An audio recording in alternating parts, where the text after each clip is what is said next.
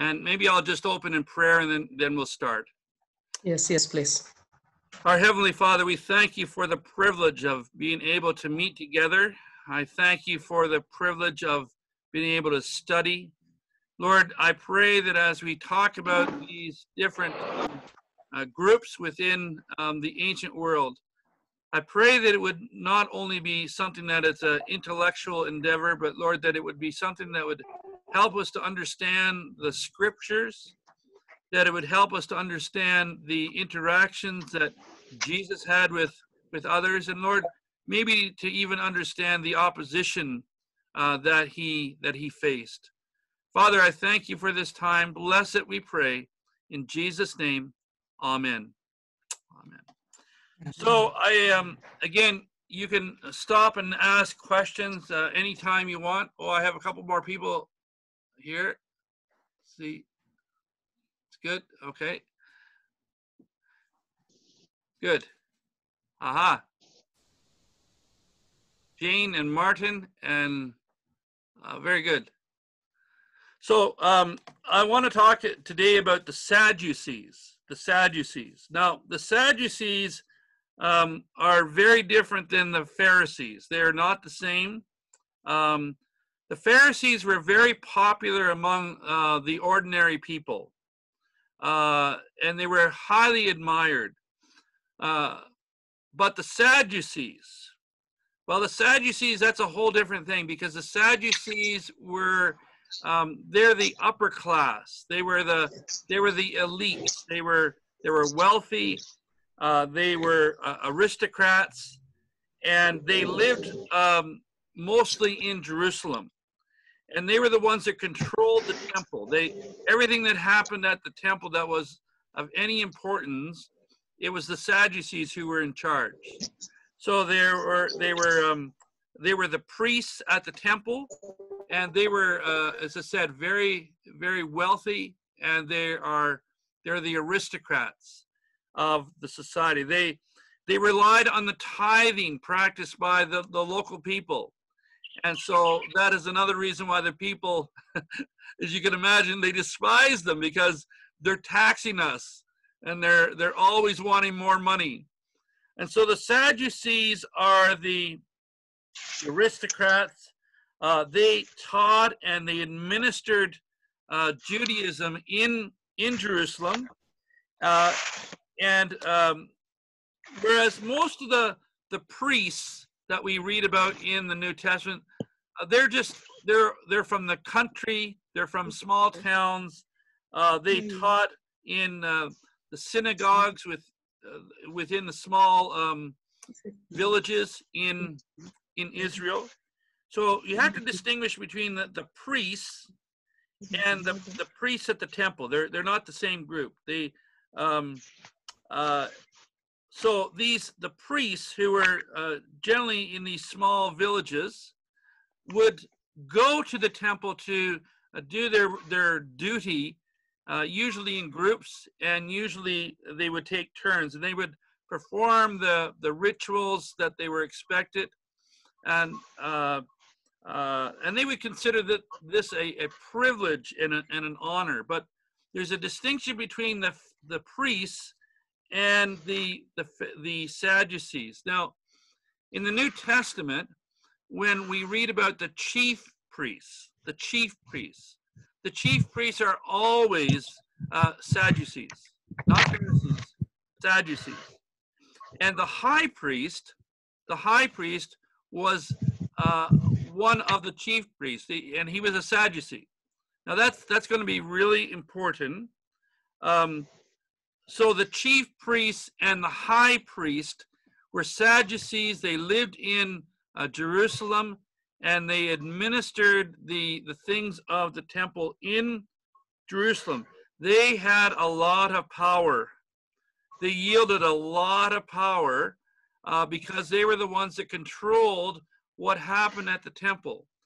The temple was the absolute central uh, symbol for uh, for Judea, uh, for Judah, in Judah, and also for uh, Judaism. It was absolutely central uh, to um, to life.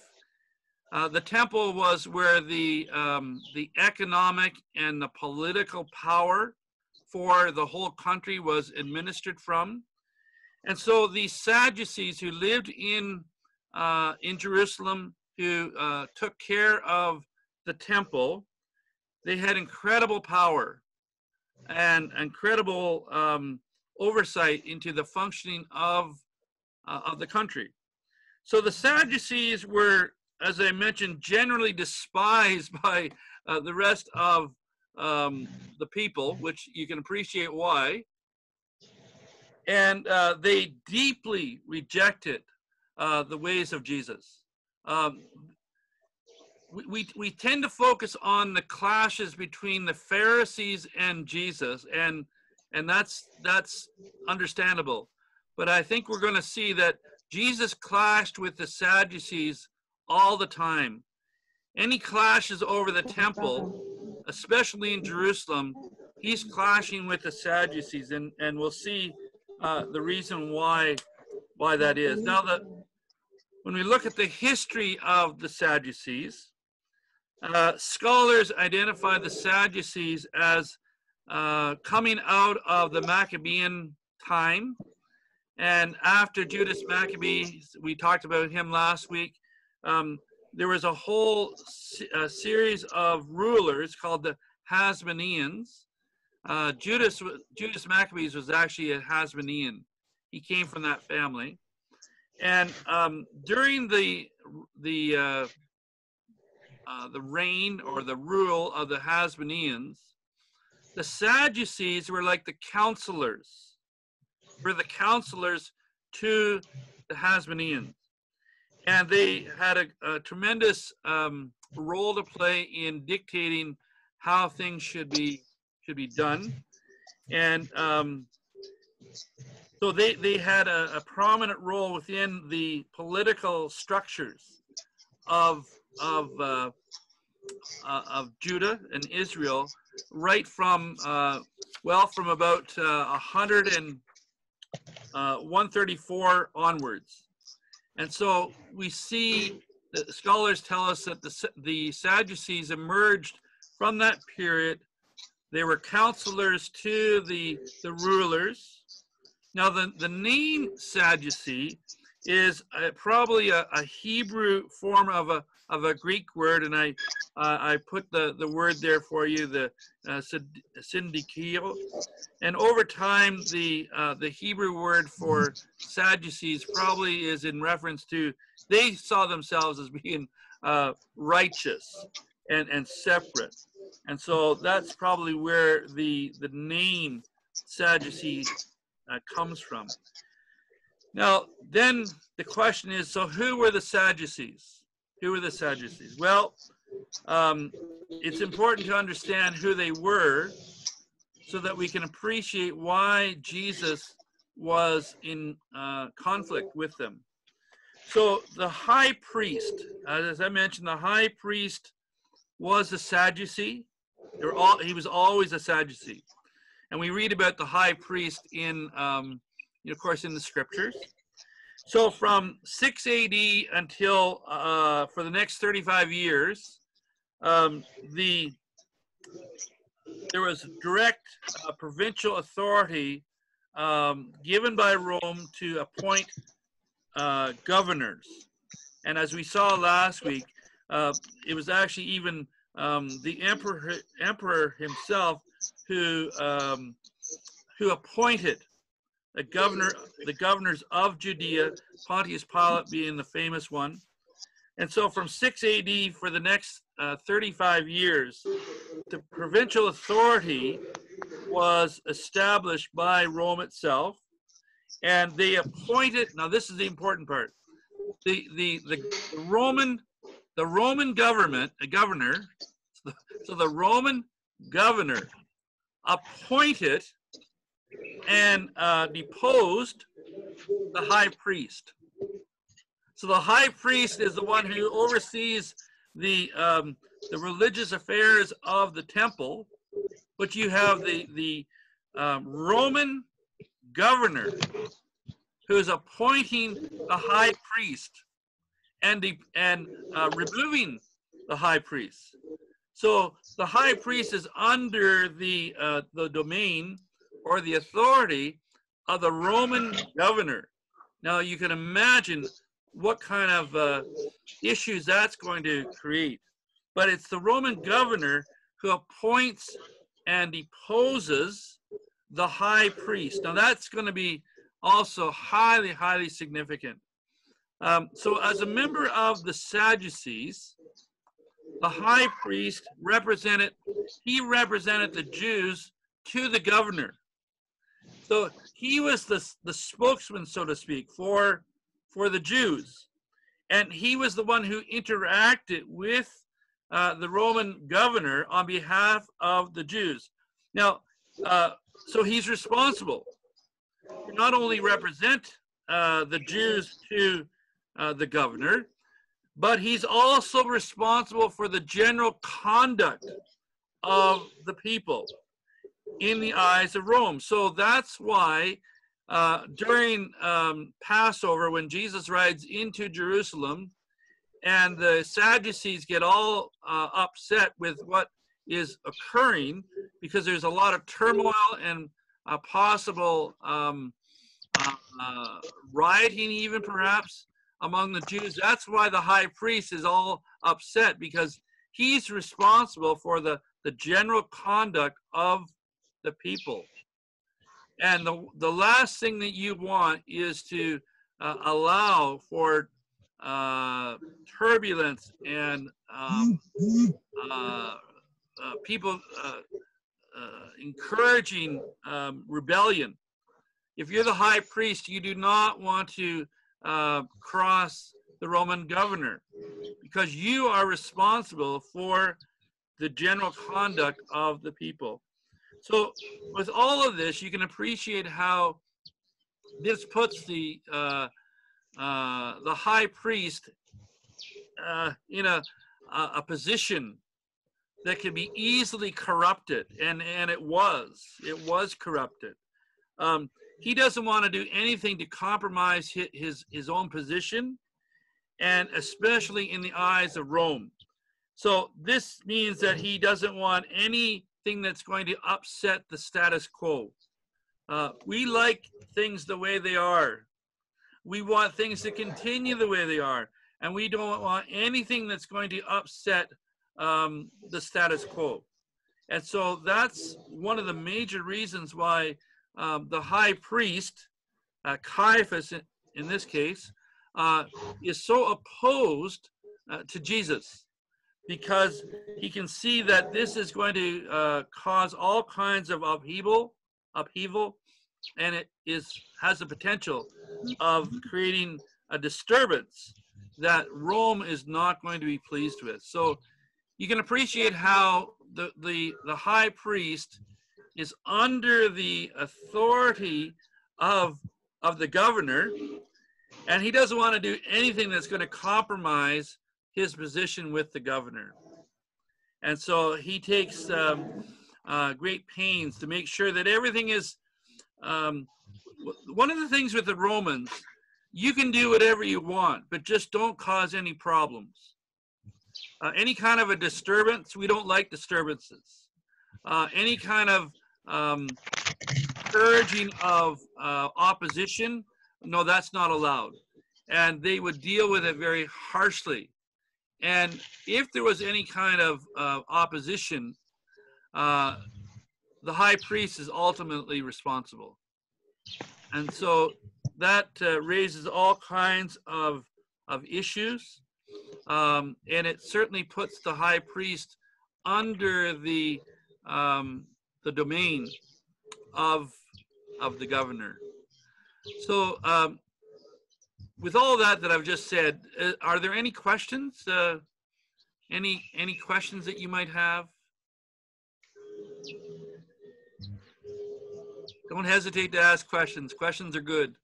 You you won't offend me by asking questions. You can not a bit. Any questions? No? Crystal clear, eh? Okay. That's good. Well, excuse me. Yeah, go ahead. Now, when we, when we look at uh, the high priest being an appointee of the Roman governor, Yes. Yes. does this mean that Israel had no authority of themselves or of their own? They did not appoint their own leaders? Uh, they did not appoint the high priest. No, Hmm, they did not appoint the high priest. The, the Roman governor appointed the high priest. Yes. So, so, so the, uh, the, the, the people of Israel had no, um, no say in who the high priest was going to be. That was not their, that was not their, uh, their prerogative. Uh, it was the Roman governor that appointed the high priest. So you think of Emily, um, the most uh, senior religious official in Israel at the temple, at the temple, and he's appointed by Rome, Roman. by a Roman governor. You, you can appreciate the problems that that's going to create. Um, Yes. he does not, the, the high priest does not want to cross Rome. You, you, Hmm, do not want to cross Roman. You, you want to you want to appease Rome. You want everything to remain stable. Uh, not only because it's uh, you want your own position to remain, uh, because the Roman governors have had a history of they will appoint high priests and they will depose high priests. If you're not if you're not doing what we want you to do, you're gone. You're gone. We'll we'll we'll we'll find another. And they did. And they did. They did. So I mean there's all kinds of problems with that. And that's exactly what we see. Yeah, yeah. That's a good question. Good question. So the question Now, was, does it mean, sir, Sure, that- go question, yes. does it mean that originally, according to the Jewish traditional worship, the office of the high priest was not there originally? Um, well, that's the good question, Martin. You go back into the Old Testament, um, who is supposed to be the high priest? Well, from the line of Aaron, of Aaron. And who appoints the high priest? Well, it, uh, it's God who is to appoint the high priest in the line of Aaron. But when we get to the New Testament, the Roman governor they don't get, they don't care what your line is. They don't care if you're a descendant of uh, from the line of Aaron. That is doesn't matter. Doesn't matter. We want a high priest that's going to um, uh, create stability. The Romans don't care about what you do at the temple. You can do whatever you want. We don't care about that. All we care about is uh, no problems. We want stability. If you want to carry out your religious practices, that's fine. But if you are going to incite rebellion or turmoil uh, and anything that's going to uh, uh, call into question the stability of, of, of the country, yeah, we've got a problem with that. And, and they know, and Rome knows how to deal with troublemakers. You know what they do with troublemakers? They crucify them. That's what they do they crucify them. Uh, we don't want troublemakers. And if you're the high priest, you don't want troublemakers either, because you are going to be responsible. And if there's trouble, you will give an account to the Roman governor. Uh, he- he'll be the first person, you will be the first person that he will tap on the shoulder, so to speak, and say, so, so what's happening in, in the city of Jerusalem? Uh, fix that. We don't want that. We don't want. We don't want that. So that, the good, that's a good question, though. Um, at this point, the the um, they're not overly concerned with um, whether the high priest is in the line of, of Aaron. That that that's that that's uh, not really that that pertinent. that's good. Any other questions? Jane, any Question. questions at all? Any que- yeah, Um, at what, at what point, yes. at what point do we distinguish between the secular leadership and the spiritual like the, the, the religious leadership when we talk about the, the, the Roman That's a, leadership. yes, that's a good question. Uh, what's the distinction between the, the religious and the political?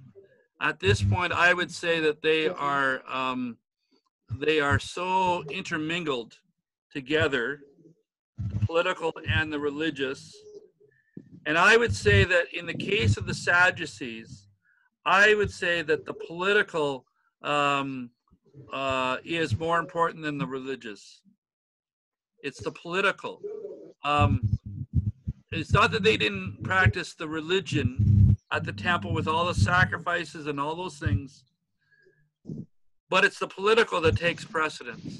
The, the political, for the Sadducees, for the Sadducees, the political is more important than the religious. They're, they're, they're, um, and you, and, and I think we can see that in, uh, well, we'll see that as we go on. But Gene, that's a great, that's a great question. Um, that's a very good question.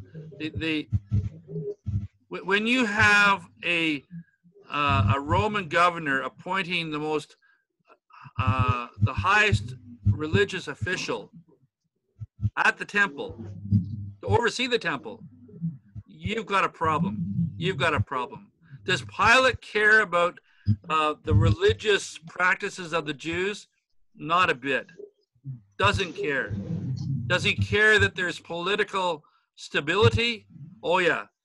Oh, yeah. We want political stability. So you can practice your religion all you want, just don't cause any problems. That's does that does that answer your question, Jane? Yeah, yeah, yeah. Good. Other questions, Martin? Do you have a question? No? Not quite. Okay, okay. Well, we'll, we'll go on then. And uh, when we look at uh, Annas and his family, now he is going to be a very, uh, very important person here. Annas was the high priest, so he's a Sadducee. He's an aristocrat. Uh, he's extremely wealthy and he comes from a very prominent uh, he is he, he has a very prominent family so he is the the high priest from uh, 6 AD to 15 AD he's the high priest. But even after 15 AD uh, even though he's not technically the high priest he still has all kinds of influence. Because all of the high priests that were appointed uh, after um, after Annas, uh, they're all related to him. They're all related. They're um, five sons, a one son-in-law, and a grandson held the position of high priest. They're all related to him, and so you can see the influence that he had. Uh, so his family was um, uh, very wealthy, very influential, and Annas retains a very significant role in uh, the crucifixion of Jesus. Now, Caiaphas, which is his son-in-law, is the, the high priest, but but behind Caiaphas, uh, we clearly see the influence of Annas. Uh, he's he's he's there as well. He's there as well. Good to have you, John. Uh, John's just Maybe just turn your video on, John, if you could. That would be good. Aha, there you are. There you are. Good, good. Uh, John, would uh, would you mind if I made you a, a, a host?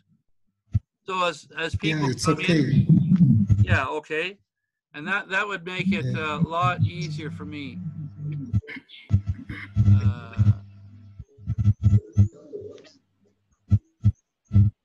there.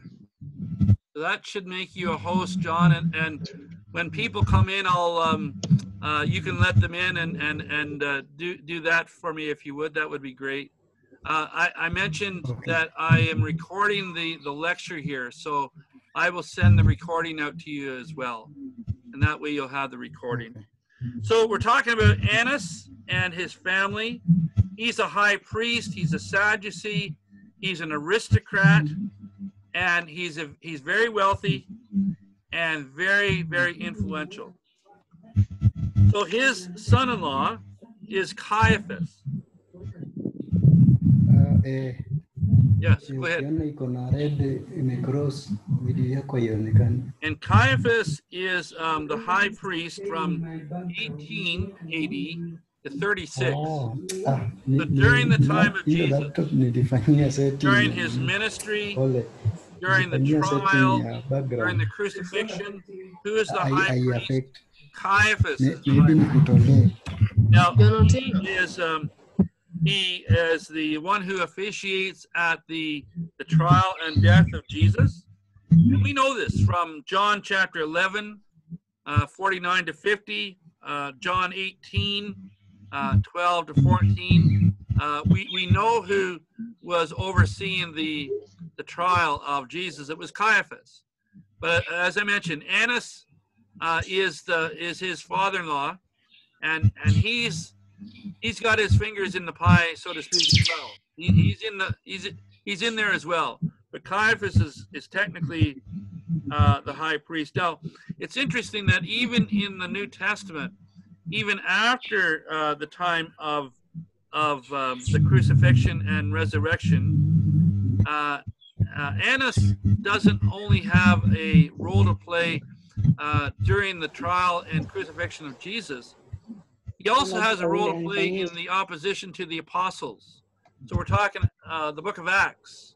So after after the resurrection, and as the church is birthed, and as the, the, apostles um, go out and, and share the gospel, uh, there is opposition. And that opposition comes uh, primarily uh, from the Sadducees, and it is initiated by uh, Annas. We see that in Acts chapter 4, verse 6, for an example. Any questions about Annas? Any questions? No? Okay. Martin, any questions? No? Right. All right, all right. Now, now we come to the chief priests. Now, the chief priests, uh, as I mentioned, the high priest was chosen from among the chief priests. So you have to distinguish. There's the high priest. That's one person. Caiaphas, for an example. But among, uh, but the high priest comes from the uh, the chief priests. Now, the chief priests, uh, they're also um, very wealthy. They also come from the aristocratic uh, uh, families who lived in Jerusalem. So you got all these wealthy aristocratic families in Jerusalem, and the high priest comes from these aristocratic families, and so do all the chief priests as well. So all the chief priests um, come from these wealthy aristocratic families. The chief priests, they're the ones who administered um, all the affairs and all the, the, the happenings uh, in the temple or at the temple. And so, um, again, like the, the high priest, maintaining the status quo is very important. Uh, if you were a chief priest, Emily, you would have a very com- is good. you you don't want anyone messing around with your position because it's actually you like you like your position and you like the influence and the and the power that you have. So let's just maintain the status quo. We don't want anyone coming in suggesting that there's anything wrong with the temple because that's going to disrupt my position at the temple. And so um, uh, all the all the economic and political um, decisions and and uh, power resides at the temple. So all the economic and political influence for the rest of the country begins at the temple. So if you're one of the chief priests, you have you have the ability to influence all of the economic and political decisions and going ons uh, in in the country. That is a good position to have, and, and you don't want anyone messing around with it. So when we look at the temple, all the important uh, officials that uh, administer uh, the te- at the temple, they're all Sadducees, all of them. You you got the uh, the high priest, you got the chief priests, you got the treasurers of the temple. So all the people that control the money at the temple, yeah, they're Sadducees too, and uh, all the principal um, offices of the temple, and the captain of the temple guard. The temple had a a group of soldiers. They're the guards. The the one who is the captain, who is over all these guards, yeah, th- he's a Sadducee as well. So you got all the most important positions at the temple occupied by people who are Sadducees. Now you can imagine what kind of power and influence they had. Lots of it, lots of it. Uh, and that's what brought them into conflict with uh, with, with Jesus. Uh, they are the keepers of the temple. Uh, they're the keepers of the temple within the Jewish society, and they represent the wealthy and the politically powerful. So, with all that background, it's not surprising that they they objected to the message of Jesus, um, especially when he uh, criticizes the temple uh, severely, and he's he's advocating major changes to uh, the uh, the Jewish life within within that society. Uh, all the things that Jesus is talking about, all the changes that he's advocating for. Uh, this is not good if you're a Sadducee. You do not want this. Uh, when Jesus goes, can you imagine if you were the, uh, one of these Sadducees and you administer the things of the temple, and you got this um, brash preacher from Galilee of, of, of, of no less coming into the temple and throwing over the tables. Remember the story where Jesus goes into the temple and he throws over the tables and he's got a whip and he's he's calling the, the temple uh, a, a den of thieves. Um, if you're a Sadducee, is that going to upset you? Of, of course. He's calling into question not only the temple, but he's calling into question you because you're one of the keepers of the temple. Uh, whenever you, whenever we read in the New Testament where there's any kind of a conflict uh, at the temple or with the temple, you can be almost certain that the conflict is with a Sadducee. Why? Because they're the keepers of the temple. That's why. And so we, we see that. Yeah, uh, it's not surprising that um, uh, they also opposed the apostles and led to the persecution against the apostles. We see that in Acts 4, uh, 1 to 6, in Acts 5, uh, 17 to 18. Uh, Jesus, uh, uh, he denounces their corruption. Uh, he denounces their political compromise. And he's denouncing all that because it's all at the expense of devotion to God and his teaching. So, this is the teaching of Jesus. The teaching of Jesus uh, challenges uh, their position at a fundamental level. And his teaching uh, directly challenges their core beliefs. So, before we move on, is there any any questions about anything that um, that I've said? Any questions? Excuse me, sir. Yes. I'm just trying to find out. Uh, I've lost the right to host. Uh, there's somebody online. Oh, okay. Kindly help. Yeah. Okay, I'll, I'll admit um, them and then I'll, I'll put you back. You should Okay. be. Let's see here.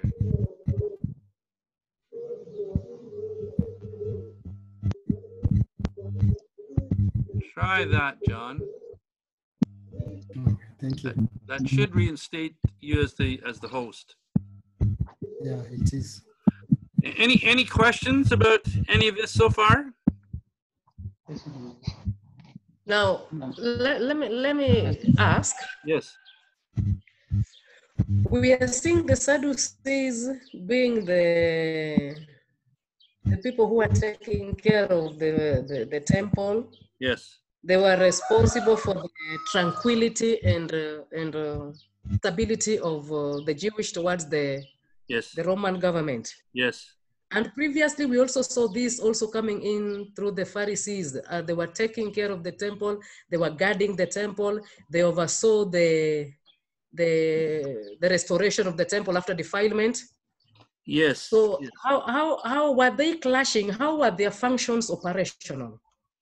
The, the Pharisees and the Sadducees were not friends. They, they, they had very different views, very different. Uh, the Pharisees also treasured the, the temple, but they wanted they wanted God to um, uh, they wanted God to to reform the temple, and they thought that God would reform the temple by being pure and holy and following the Sabbath and and, and the food laws and all those things. Well, it's not that the Pharisees didn't treasure the temple; they did, but they thought that that that God was going to um, act or intervene uh, at the temple at the temple if we would just follow the law. If we would follow the law, then God will act. So it's not. So they had a high view of the temple as well. The Sadducees, I don't think. I don't think they really had a high view of the temple. I think that they uh, they wanted to maintain the status quo of the temple Okay. uh, because it was politically expedient for them to, to do that. Uh, so they, they both saw the need to retain the temple, but uh, but their um, uh, the reasons for it, I think, are very different. Does that help, Emily? Does that help? Yes, yes, yes, Yeah, yes. yeah, yeah, yeah. Um, the, the Pharisees, they, they weren't political. Um, the Pharisees were, were very religious. They, they, they weren't interested in politics. They were interested in, uh, as long as you let us um, carry out our religious uh, practices, that's what we Mm. want. They, they weren't Okay. political in, in the same way.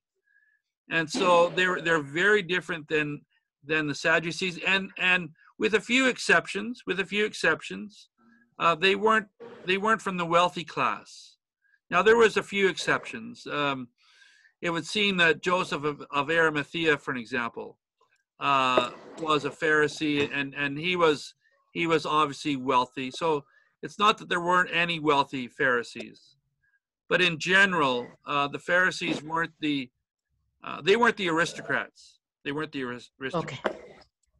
Thank you. Good. That's a good question. Any other questions? Uh, not really a question, just an observation. Yes. Uh, from what I'm gathering, what you're saying is that uh, there was only one temple, Oh, yes. Oh, and uh, the Pharisees were kind of in synagogues, which were scattered all over in other, in the rural villages and a few cities. But the temple, there was only one temple, and this is where the Sadducees had concentrated, because this is where there was the high priest and the chief priest. Chief Am I right or wrong? A- a- absolutely, uh, Armstrong. Absolutely. You have one temple. And, and for the Jew, I mean, the temple is everything. It's this is the central uh, symbol of our entire, not of our entire nation, because the temple is where the presence of God is. This is where we meet with the presence of God. So in the New Testament, when you read about the synagogues, synagogues are different. synagogues were in uh, just about every uh, small village. You would have a synagogue. The synagogue, there's no, you, you didn't offer sacrifices at the synagogue. Animal sacrifices were offered at the temple, not the synagogue.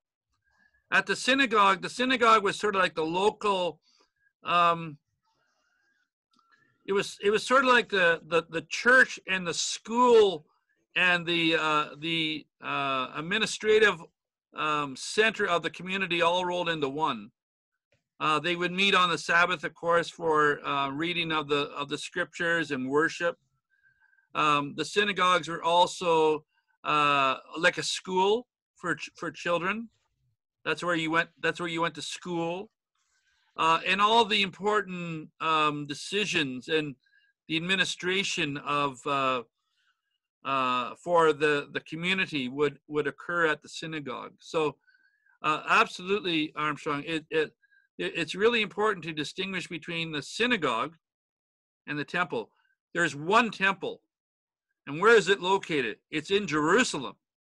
Uh, but there are many synagogues. So there's a, I mean, in in um, uh, in in uh, Luke chapter four, we read about Jesus going to the synagogue in Nazareth. Well, yeah, uh, he went and went to the synagogue as as a young boy. He's going he's going back home, and and he's of course that that's a that's a famous passage where he's reading from the the prophet Isaiah. Uh, but yes, it's a it's important to distinguish between the temple and and the synagogues. The temple was, uh, from what I I've never uh, I, obviously I've never seen it, but um, the temple. I mean, when you're entering into Jerusalem, you can't miss the temple. It's on a it's on a mountain, what they would call a mountain, uh, Mount Zion. This huge building, and it's it's prominent. That's what you're going to see.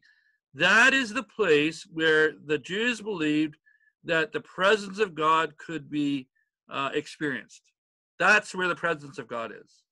So yeah, does that answer your question? Uh, is, does that help, uh, Armstrong? Yeah.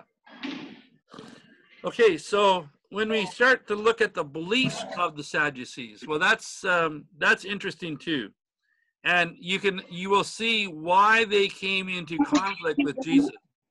You think of all the things that Jesus emphasized, and then you, you consider what the Sadducees believed, and it is not surprising that they clashed with Jesus. So the beliefs of the Sadducees put them at odds not only with the Pharisees, so we talked about that, uh, Emily, that their, their their beliefs were very different than than the Pharisees. But of course, it also put them at odds with Jesus. Uh, now, this is because, um, for one re- for one thing, they they rejected any notion of angels or demons. Uh, that's that's not on. They they don't they don't believe in that. Of course, we see Jesus uh, uh, clashing with with the the the supreme demon, uh, i.e., uh, Satan. But the Sadducees don't believe in angels. They don't believe in demons. Uh, and and this is the important part. They only believe in the Torah, the written Torah. So the five books of Moses. They believe in the Torah, the written Torah. The rest of the Old Testament, no, they don't believe in that. They, they, so they don't believe in the prophets. They don't believe in uh, the wisdom literature. They only believe in the written Torah. Now that is going to be, uh, they're definitely going to clash over that one. So the written Torah is the only thing that they uh, ascribe to. Uh, they so last week I talked about how the Pharisees appealed to the oral traditions and the traditions of the elders, for an example. The Sadducees, uh, they don't believe any of that. Uh, that that that has no bearing on what we should do. So um, they they don't um, they don't appeal to the traditions or the oral traditions of the previous generations. That's uh, that's something that the Pharisees ascribed to, not the Sadducees. Uh, the Pharisees wanted God to reform Israel. In contrast, uh, the Sadducees they want to maintain the status quo of Israel and their, their privileged position that they enjoyed at uh, within the country and at the temple, and uh, and they wanted to remain it, it to remain that way. Uh, so even though the country was governed under the thumb of Rome, that the people despised, for the Sadducees, we're okay with that because life is good, and let's just maintain uh, the status quo. Um, so the ordinary people, as I mentioned, they they they hated the Sadducees almost as much as they hated the Romans, but um, because of their privileged life under under the Romans, uh, it's not surprising that the that the Sadducees would not welcome the message of the Old Testament prophets. Now, when you read the Old Testament prophets, um, it's pretty clear that the prophets, who did they speak against? Well, they spoke against the leaders within the society. The Old Testament prophets uh, speak about the, the leaders, the, the corruption of the leaders, and they warned of uh, God's um, coming judgment. If you're a Sadducee, you don't want to hear any of that. Um, and any message of of uh, uh, of warning of God's judgment or corruption, you don't want to hear that. So it's not surprising that they would reject uh, the message of the prophets. We only want to um, follow the Torah. The prophets, no, we don't want that. Um, the Sadducees dismissed the, the message of, of the prophets. Uh, that doesn't pertain in their mind. Uh, they also didn't want any kind of uh, anything that was going to encourage uh, revolutionary activities. No, we don't want that either. Again, because of the status quo, uh, because that would uh, seriously disrupt their relationship with, with Rome. So you can see why they would uh, dismiss the message of the prophets and why they would not want to have any kind of activity that would incite um, any kind of revolution or rebellion uh, against Rome. So they only believed in the written Torah. They also only believed in free will. Uh, is God sovereign? No, God, God, God doesn't care about um, intervening uh, in our lives. We believe only in free will. Uh, the Sadducees would maintain. Um, they rejected any notion that God would interfere or intervene uh, in or direct the affairs of people. That's that's highly significant. In other words, God leaves life and how we live life uh, mainly up to us. We determine how we live. The Sadducees' idea of free will uh, will have had little to do with. It wasn't that they had some kind of abstract uh, philosophical ideas of free will that they're trying to maintain and and promote. It wasn't it wasn't abstract philosophical reasons for maintaining uh, free will. Uh, it was all about political power. Uh, after all, God, uh, Israel's God.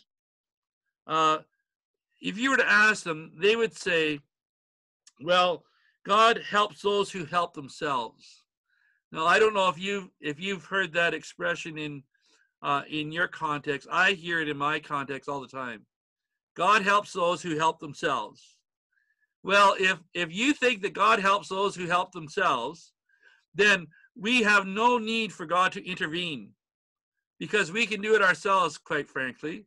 We will make the decisions for ourselves. That was how the Sadducees viewed life. They they embraced this free will only because they could continue to maintain uh, the things that they had. We we don't believe that God intervenes. Fact, we don't want God to intervene. Uh, God leaves all of the decisions up to us. And we are making the decisions as we speak in light of uh, what we deem to be uh, important for maintaining our position. So, Dr. Wright, in one of his books, he says this is a, a comfortable doctrine to have for those who are in power. If you're in power, you don't want God to intervene let's just keep things the way they are. Um, He says this is a comfortable doctrine to have for those who are in power and who retain that power and influence by any means possible. Of course. Now, in contrast, those who don't have power, so the, the Pharisees didn't have a lot of political power. Uh, for those who don't have power, they're more eager to see uh, and, and to desire God to intervene and change things. The Pharisees wanted God to change things. The Sadducees, no, we don't want God to change things because we like things just the way they are. Um, the Pharisees tried to hasten this change by uh, by following the Torah, by keeping the uh, the purity laws and and the Sabbath and and, and, uh, and all the things that we talked about last week. And so they invited God to reform Israel. Others, like the uh, Essenes that we're going to talk about uh, in, in, a moment, they they didn't have any political power either. They wanted God to intervene as well, but um, and change things. But for the Essenes, they waited without trying to hasten uh, God's intervention. They they saw God intervening uh, in their case without any kind of um, uh, any kind of their own efforts involved. And so, both, as we will see, both the Pharisees and the Essenes wanted God to intervene. The Pharisees thought that God would intervene through them, uh, their efforts at keeping uh, the law. The Essenes said, no, no, God's going to intervene, not because of our efforts, that we will just wait uh, and, and, and for God to, uh, to act. So we'll, we'll see what the, the differences are in uh, next, next, next hour. But um, now this next thing that they denied is, of course, highly significant. They did not believe in the resurrection. There is no resurrection. There will there has there will be no there's no need for a res- resurrection. Now, that obviously puts him in conflict with Jesus. Uh, did Jesus talk about the resurrection yeah, all the time? Did Jesus, uh, was he resurrected? Well, of course. Uh, they were in uh, direct conflict with Jesus over the issue of resurrection. The Sadducees had no notion or desire to uh, hold to any form of resurrection. Uh, in the first century, the idea of resurrection at the end of time, and we'll we'll see that in uh, in in a little while. The idea of resurrection at the end of time, along with being a hope for and uh, a symbol uh, and a, and a, it almost became a metaphor for the total reconstitution of of Israel the Sadducees, no, no, no, no. We, we don't need that. We don't need that. They rejected resurrection. Uh, the resurrection that the Pharisees wanted was to uh, re-establish a theocratic uh, Israel, where God was the one who was was in control, uh, under possibly the rule of a coming Messiah. For the Sadducees, no, no, we don't need that. In fact, we don't want that. We don't believe in any form of resurrection, and that is just to them uh, nonsense. Now, any form of any longing for a resurrection, you see, would would disrupt and put an end to the power that they had. Life is good. We like our position. We don't want any kind of resurrection where God is going to intervene and change things. Why would we want that? let's just maintain what we have. They had, um, so they didn't have any desire for any any talk of uh, of an afterlife. Uh, that was something that they didn't uh, see was uh, deemed to be important. Uh, denying the importance of the resurrection certainly puts them at odds with Jesus. And it puts them at odds with what Jesus said would happen and it clearly puts them at odds with what did happen. So it's not surprising that the Sadducees would oppose the message of the early church. Um, if you have a group of apostles trying to convince people, you know, there was this man and he was crucified on a cross. And on the third day, he rose again and he's resurrected. He's alive even as we speak. It, it, it, that's the message of the apostles, and of course it was. It's not surprising that the Sadducees opposed that message. And they did. Uh, they were at odds with anything that would uh, suggest that there was an empty tomb. They don't believe in empty tombs. They don't believe in resurrection. And Jesus talked about, he, he came to establish the kingdom of God, and he came to establish the kingdom of God that would extend into um, someday a complete culmination of the kingdom of God. And that was what he promised. They don't want any uh, future kingdom of God because that would suggest there, there, uh, there's something wrong with the present um, structure of our society now. They rejected that. Any hope in a re- resurrection is not the message of those who are who are in power welcome. That's that's the point. Uh, the resurrection is the hope of those who have no power and who long for God to intervene and make everything right. The Sadducees, they liked the rightness of their wealthy, powerful positions and, and influences within the Jewish society. Therefore, they rejected any changes to that position, such as advocated in the idea of the resurrection. So when Jesus was in Galilee, his clashes were mainly with the Pharisees. When he went to Jerusalem, he, his clashes included also the wealthy, uh, corrupt, status quo keeping Sadducees. Their, their desire to cling to power and maintain the status quo of the temple put them at odds and out of sync with, with God's appointed Messiah who inaugurated or, or began the kingdom of God. And the promise of that kingdom uh, culminating completely in the future with a complete and life changing implications was something that the Sadducees opposed. They not only opposed Jesus, but they also opposed the preaching of the apostles after the resurrection of Jesus the alliance of the Sadducees with, with Rome was the, was the part uh, that the ordinary people uh, hated.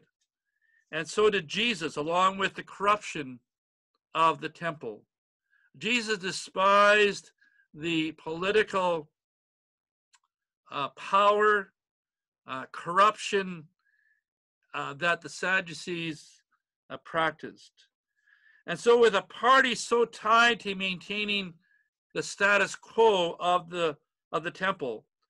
It's not surprising that they ceased to exist after the destruction of the temple in 70 AD. So in 70 AD, the Romans they've had it with the Jews. And in 70 AD they come in and they absolutely destroy Jerusalem and the temple. There is no temple in Jerusalem as we speak. The Romans crushed the temple in 70 AD. And uh, not only did they uh, crush the temple, but the Sadducees ceased to exist as a party because they were so tied to maintaining that temple. Uh, their commitment to maintaining the status quo of the temple put them at odds with their fellow countrymen and made them expendable to the Romans as well as experiencing the judgment of God that Jesus declared would happen against the temple and their ways. And of course, that's exactly uh, what happened. So that gives you a little bit of a of an understanding, hopefully, of who the Sadducees were, uh, what they did, what they believed, and why they clashed with with Jesus. I would say that whenever we read in the New Testament of Jesus clashing over issues of the temple, invariably they are tied, especially in Jerusalem, uh, to uh, to the Sadducees. Not not always, but often. So with that, I'll, I'll I'll stop. And is there any questions about anything that I've I've said? Any questions at all? Crystal clear?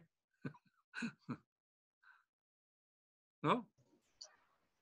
All right. Joseph?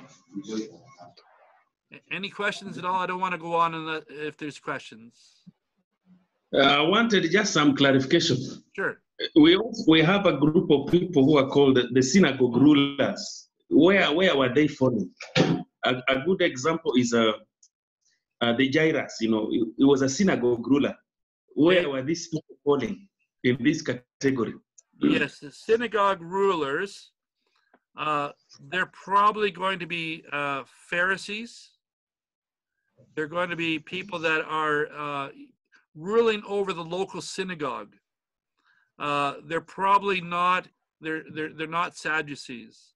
The Sadducees were uh, located mostly in in Jerusalem. Yeah, yeah, okay. Okay. Yeah, yeah. Um, now within within a local town, say like Capernaum or Nazareth, uh, did did the did the synagogue play an important role? Oh yeah, very important, very important within those within those towns. But but they would still um, they would still look to to Jerusalem and the temple as the place to be. Uh, so uh, uh, Josephat, if you were if you were a, a priest in let's say in Capernaum, and you have an opportunity maybe once a year to go up to the to Jerusalem and perform your uh, religious duties at the temple, well, that's an honor. That's an honor.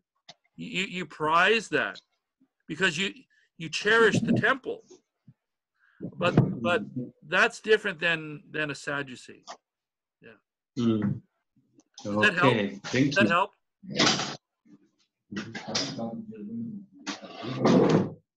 I mean, there are a few uh, wealthy Pharisees in the New Testament, but by and large, the uh, the, the the the local priest at the local synagogue, they're not wealthy.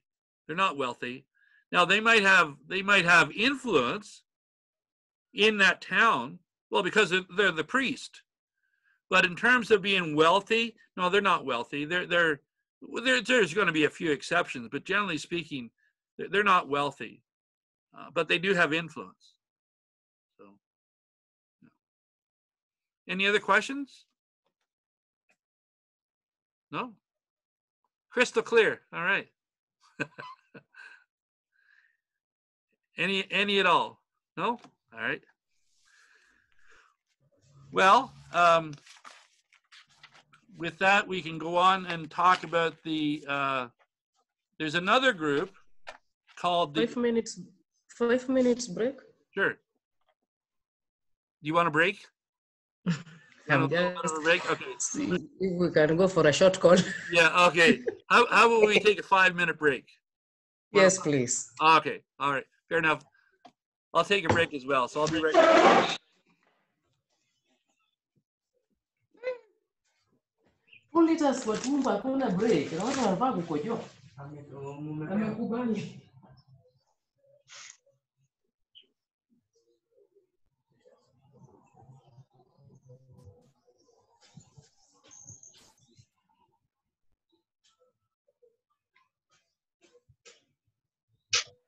Проект Кидок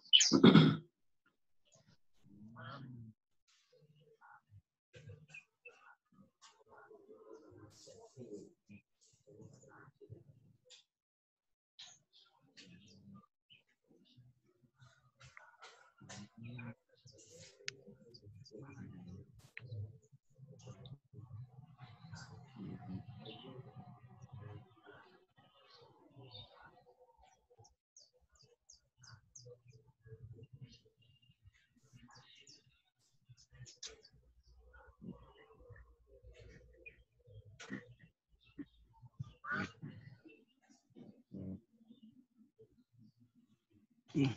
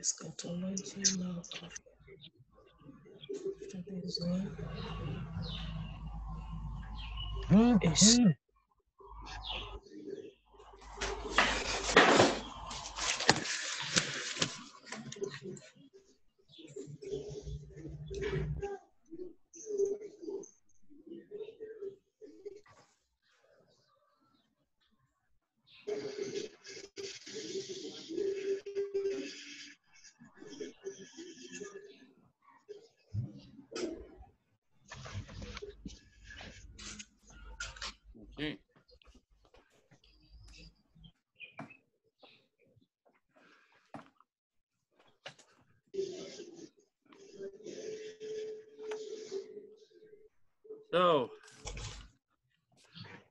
talk about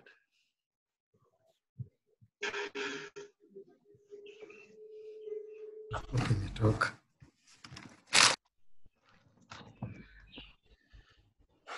Okay, so we'll talk about the, nyuma.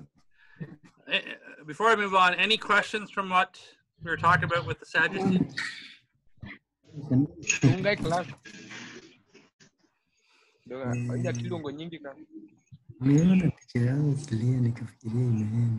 Okay, well, maybe we'll we'll get started.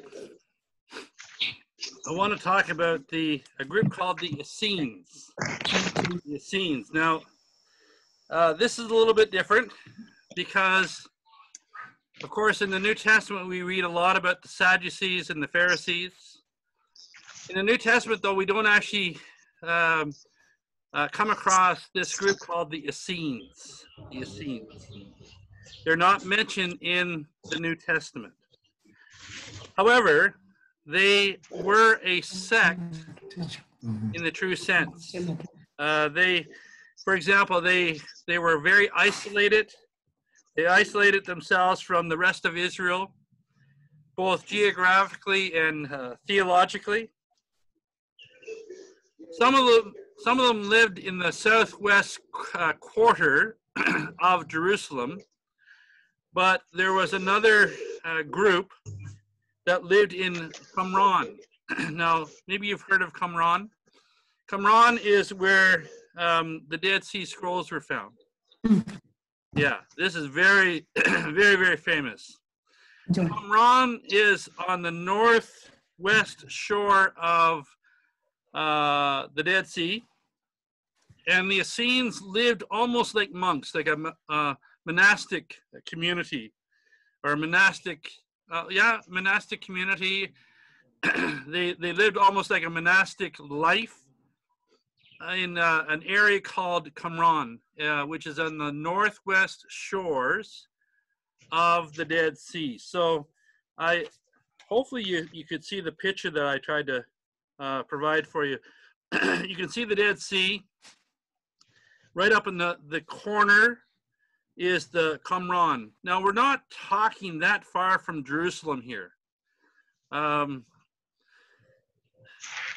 I've never been to Israel, but uh, the drive from Jerusalem to the Dead Sea, it, we're we're talking less than two hours, less than two hour drive drive. So it's not that far, but it is in the- scriptures talk about the wilderness, but wil- it's not wilderness in the sense like a like a forest. It's wilderness like like a desert, like a desert, and it is a, it's dry, and it's a desert. And there was a community that lived there called the Essenes. And there, I gave you another picture. It's a picture of, of Qumran, and you can see how uh, how dry it is. Uh, it, it's it's near. It's you can see the Dead Sea. Uh, it's very close to the Dead Sea, which of course is the lowest point uh, on Earth, the Dead Sea. So we're talking very dry, desert-like um, uh, uh, context. And of course, it's here that they found the famous Dead Sea Scrolls. Have, have you heard about the Dead Sea Scrolls? The Dead Sea Scrolls are very, very famous. They were, uh, they found, they were discovered in uh, 1948. 1948, and the story behind the Dead Seas is uh, Dead Sea Scrolls is very famous. There was a there's a little shepherd boy. He was out looking after his sheep, and he was bored, and so he there there's some some openings in the caves, and in his boredom he had some rocks, and he was throwing the rocks up into the caves, and he throws the rocks up into the a rock up into the cave, and he hears it hears it hit something, and it sounded kind of strange. So he thought, "What in the world is that?" And so he climbs up and he looks in the cave, and he discovers these very very old pots and inside the pots are these ancient scrolls. And they have they're dated from before the time of jesus. And of course these become very very famous. They're called the dead sea scrolls. Uh, there is there's practically or very little moisture in that area. That's why they were they were preserved in the way that they were. Uh, and scholars have begun to uh, try to study and understand the, the Dead Sea Scrolls. And from the scrolls, we get to understand this group called the Essenes. They were probably uh, the ones who hid the scrolls in, in the caves. Um, and scholars compare what these documents that they've discovered, they compare them with what some of the ancient writers uh, say about um, the Essenes. Uh, ancient writers like Josephus and Philo of Alexandria and uh, Pliny the Elder, they're ancient writers that speak of the Essenes.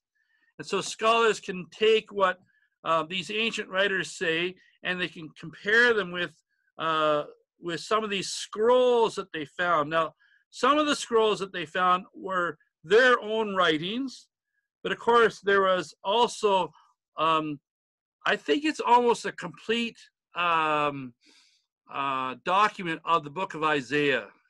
Isaiah. That's really significant. Uh, someone put a copy of Isaiah in one of these pots and uh, hid them in the uh, the cave. This these this document of Isaiah is before the time of Jesus. So did Isaiah uh, make reference to to Jesus uh, before Jesus uh, was born in Bethlehem? Of course, and the, the scrolls uh, point us in that direction. So I gave you another picture there that you can see the caves. Um, uh, the, they they look desolate. Um, you know, there there's uh, there's there see those holes. That's where they they found the scrolls. So True to the thinking of a sect, the Essenes claim to be the true heirs of the promises of Scripture, and they considered all other devout um, people and other devout Jews as dangerous and deceived. So, typical of a, of a sect. We are the only ones who are practicing the truth. Uh, we are the only ones who are devout. Um, all the other people that you you mention or can name, including other Jews, yeah, they're not devout at all. They are dangerous, and they are deceived, and we need to uh, remain isolated from them. Uh, that's typical of a sect. In contrast, uh, they consider themselves to be exclusively the sons of light. They actually use that phrase, sons of light. We are the sons of light, and everyone else, they're the sons of darkness. So if you're not part of our group, if you don't think the way we think and believe the way we believe, well, you are a son of darkness. We are the sons of light. And so you can see um, how uh, much of a sect they were. Any questions about that before I go on? Any questions? All right. Now we look at the history of the Essenes. Now scholars trace their formation of the Essenes back to the period of opposition to the Hasmoneans. We've we've mentioned the Hasmoneans before. Uh, Judas of Mac, Judas Maccabees uh, was a Hasmonean, and those who followed Judas Maccabees were also Hasmoneans, and they were the ones who ruled over um, uh, over Israel. Now, there were some who had a real problem with the Hasmoneans, and they um, in around uh, 150 B, 152 uh, BC, uh, the Hasmoneans put together in one person a, the priest and the king. So in one person, one person is both the priest and the king. And there was a group that had a real problem with that. Uh, they thought that that was something that was forbidden and not allowed. And they become this group called the Essenes. You, in their opinion, in their mind, you cannot have one person who's both a priest and the king. That is a recipe for disaster, and it's something that is forbidden, and they, they were opposed to that. So they, as a result of that, because they were so um, opposed to the uh, the temple and the uh, the, the uh, structure at the temple with having one person, both king and priest, we don't want that. So what we'll, we will do, we will withdraw from um, that area and they go into the wilderness, i.e. Qumran, and that's where they're going to live because we're not going to have anything to do with the temple. It's corrupt and we are, we are opposed to uh, the, the priest and the, um, uh, the, the, the influence of the priest as well. So they withdraw within into the wilderness, which is, as I mentioned, wilderness, don't think forest. Wilderness is desert. They withdraw into the desert and they are under the leadership of his, he, he was referred to as the teacher of righteousness. Now, now when you think of how that um, contrasts with, with Jesus, that is, that's quite a title. This is before Jesus. This is before Bethlehem. And so you have a leader who is referred to as the teacher of righteousness. And he sets forth this is what we're going to believe. Sorry about that. I'm not sure what happened. So we have um, this teacher of righteousness. This is before the time of Jesus. And his interpretation of the scriptures is not to be questioned. So, Emily, if you were among this community of Qumran and the teacher of righteousness says, This is how you are to understand the scriptures, there's no deviating from that. Uh, his interpretation is the right interpretation. And his rules of how to live, yeah, you're going to obey them strictly. There's no there's no uh, discussion about this. It's very, very strict. And um, uh, the Essenes remained there. They remained in Qumran until 68 AD. Uh, not surprising, that's right around the time of the Romans coming in and crushing Jerusalem and, and the temple, and they go out into the desert and they also um, deal with the Essenes. So, so any questions about that so far? No? Okay. The Essenes were neither the Pharisees nor the Sadducees. They didn't belong to the both side No, of. Uh, uh-huh. A, a, di- a separate group, separate group. Okay. They would have they would have some some affinity with the Pharisees in terms of strict uh, dietary rules and purity rules, but their understanding of uh, of how to uh, live was very different. They withdrew from society. The Pharisees didn't withdraw from society. They're they're trying to change society. hmm The Essenes said, no, no, no. Uh, we are going to withdraw from society and we're waiting for God to intervene, but He's not going to intervene because of anything that we do. We're just going to wait for Him to intervene. Of course, they thought that He was going to intervene through them. of course, of course, of course. So, so Uh, now, go ahead. Any, would we assume that uh, their kind of belief was not very significant? That is why it was not captured in the New Testament. yes. Canonical, uh, the authenticity of the New Testament. I, I think so. I think so. I, I think that um, during the during the period of the New Testament, uh, well, I, I need to be more specific. During the time of the life of Jesus, during the life of Jesus, I don't think that they had a great deal of influence in terms of of of the society, and so um, that's why I think there isn't a lot of there isn't any mention of them in the New Testament. Uh, however, some of their ideas, uh, I, I think, were kind of the seeds for uh, some of the the some of the theology that we read about in the New Testament, although they're not mentioned in the New Testament. I don't know. Does that answer your question, Emily? Okay. Yeah. Yes. Yes. Yeah. Yes. Yeah, they're they're not mentioned in the New Testament. But are some of their ideas uh yeah, I, I think they were um I think they some of their ideas became uh somewhat in, uh, important in um, how the New Testament writers understand things. But in terms of their influence on uh, the society, um, no, I don't think so. Uh, part of it is because they withdraw from society.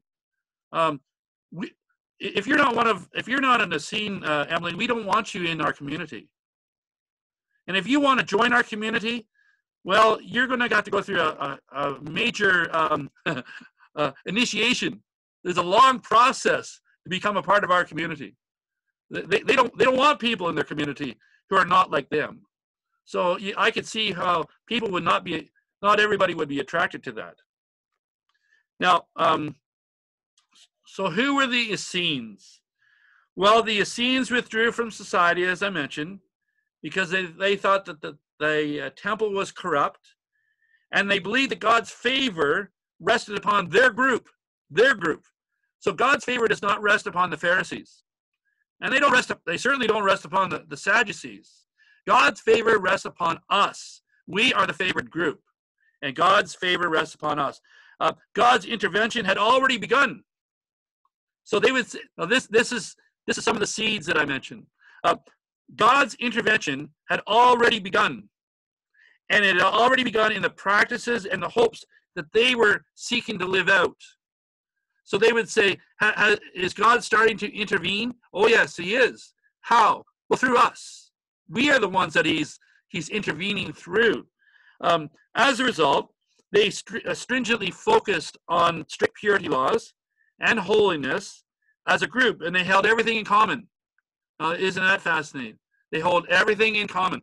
Uh, you don't you don't have any private property or private things, uh, uh, uh, Emily. You no no we we hold it in common, and so there there there was that sense as well. Now there was some variety within. They weren't all they weren't all the same. Um, scholars tell us that there were some varieties uh, varieties within the various groups, but generally speaking, that the group that we call the Essenes, they mostly rejected marriage for celibacy. We don't want to be married because we think that that is going to um, detract from our devotion to God. So they were all for celibacy, but they also adopted orphan children. So that's that's interesting. They they they did have arms like um, weapons, but they only used the weapons to protect themselves. They um, uh, they didn't swear. Uh, they investigated uh, diseases and sought uh, medical remedies. Um, they also expelled members for committing offenses and uh, took them back before they starved. So you do something that's wrong, we're going to kick you out. Uh, we don't want to see you starve though. So I mean, we'll we, we will have you come back in, but um, we don't want to see you starve. But we will expel you for not maintaining our our practices. Now, what about the beliefs of the Essenes? Well, uh, consider the following highlights of their beliefs, and, and these beliefs uh, both confirm them as a sect and what they hope for in the future. Now, this is, I, I find it uh, uh interesting. They dismiss the temple in Jerusalem. Uh, the temple is corrupt. Uh, all the people who, who administer the, um, the affairs of the temple, they're corrupt as well. they consider the, the temple to be polluted polluted. It's unclean. And God, of course, only works through uh, people and groups that are clean. The temple, the temple's polluted. It's unclean, and God is not.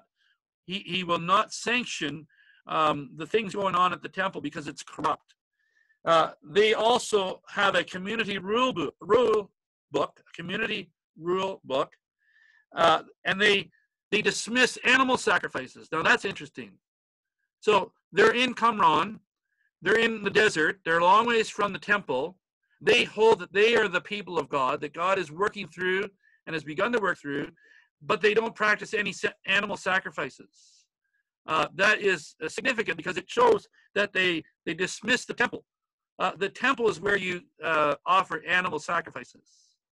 Uh, they, they didn't see any need for animal sacrifices, uh, which, of course, as I mentioned, occurred at the temple.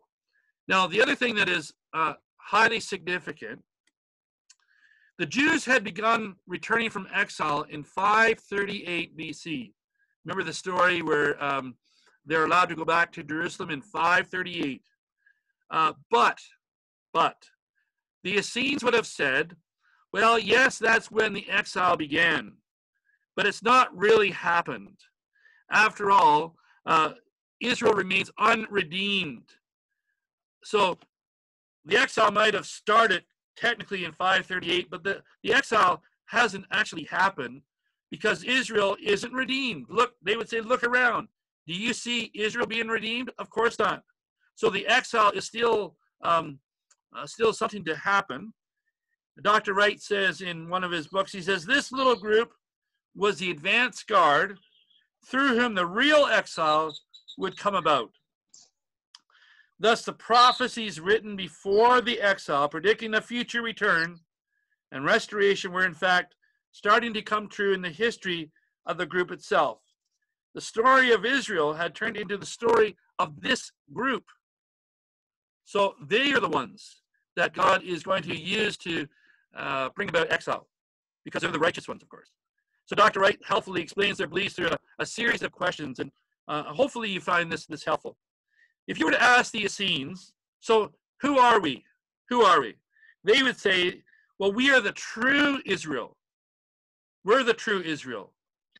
We're the true Israel and the heirs of the promise, promises that are ignored in the present, but with a great future before us. We, we are ignored in the present. No one notices us. We are ignored in the present, but we have a great future that, that is before us. So where are they? Well, they would say, we are in exile, situated away from Israel, uh, demonstrating by our wilderness existence the fact that the promises of restoration and redemption are yet to be fulfilled. If you were to ask them, so what's wrong? What's wrong with the, the present situation? They would say, Israel is clearly uh, not redeemed. The wrong people are in power. The wrong high priest is ruling the temple, and Israel as a whole is absolutely blind. blind. So if you were to ask them, so, so what is the solution? They would say, well, Israel's God has begun to act. And in calling this movement into existence, he has prepared, he has prepared the, um, can you still hear me okay?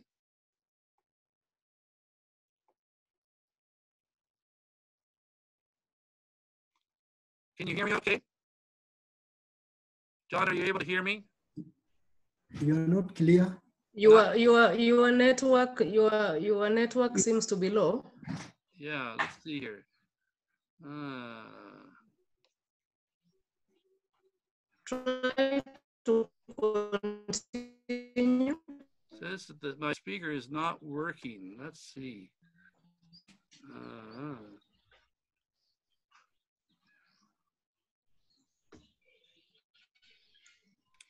uh,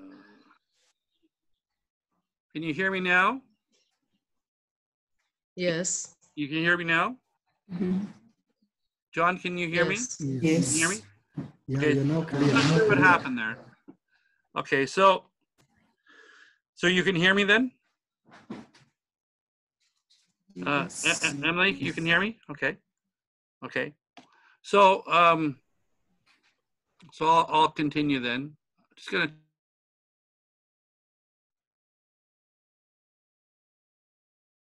Okay.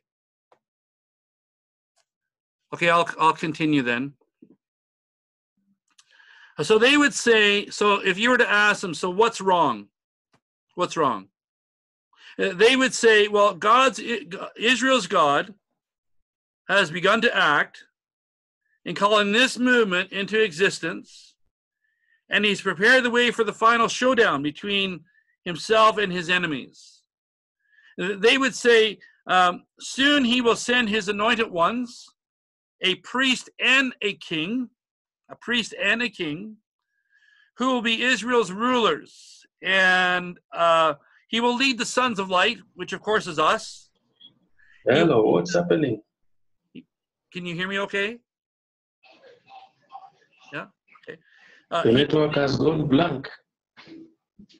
He will lead the sons of light in a great war against the, the sons of darkness. And not only will the Gentiles, but also the renegade Jews, they will all be defeated, and the sons of light will re- reign for a thousand generations. Um, any any questions about any of that so far? Any questions? No? Okay.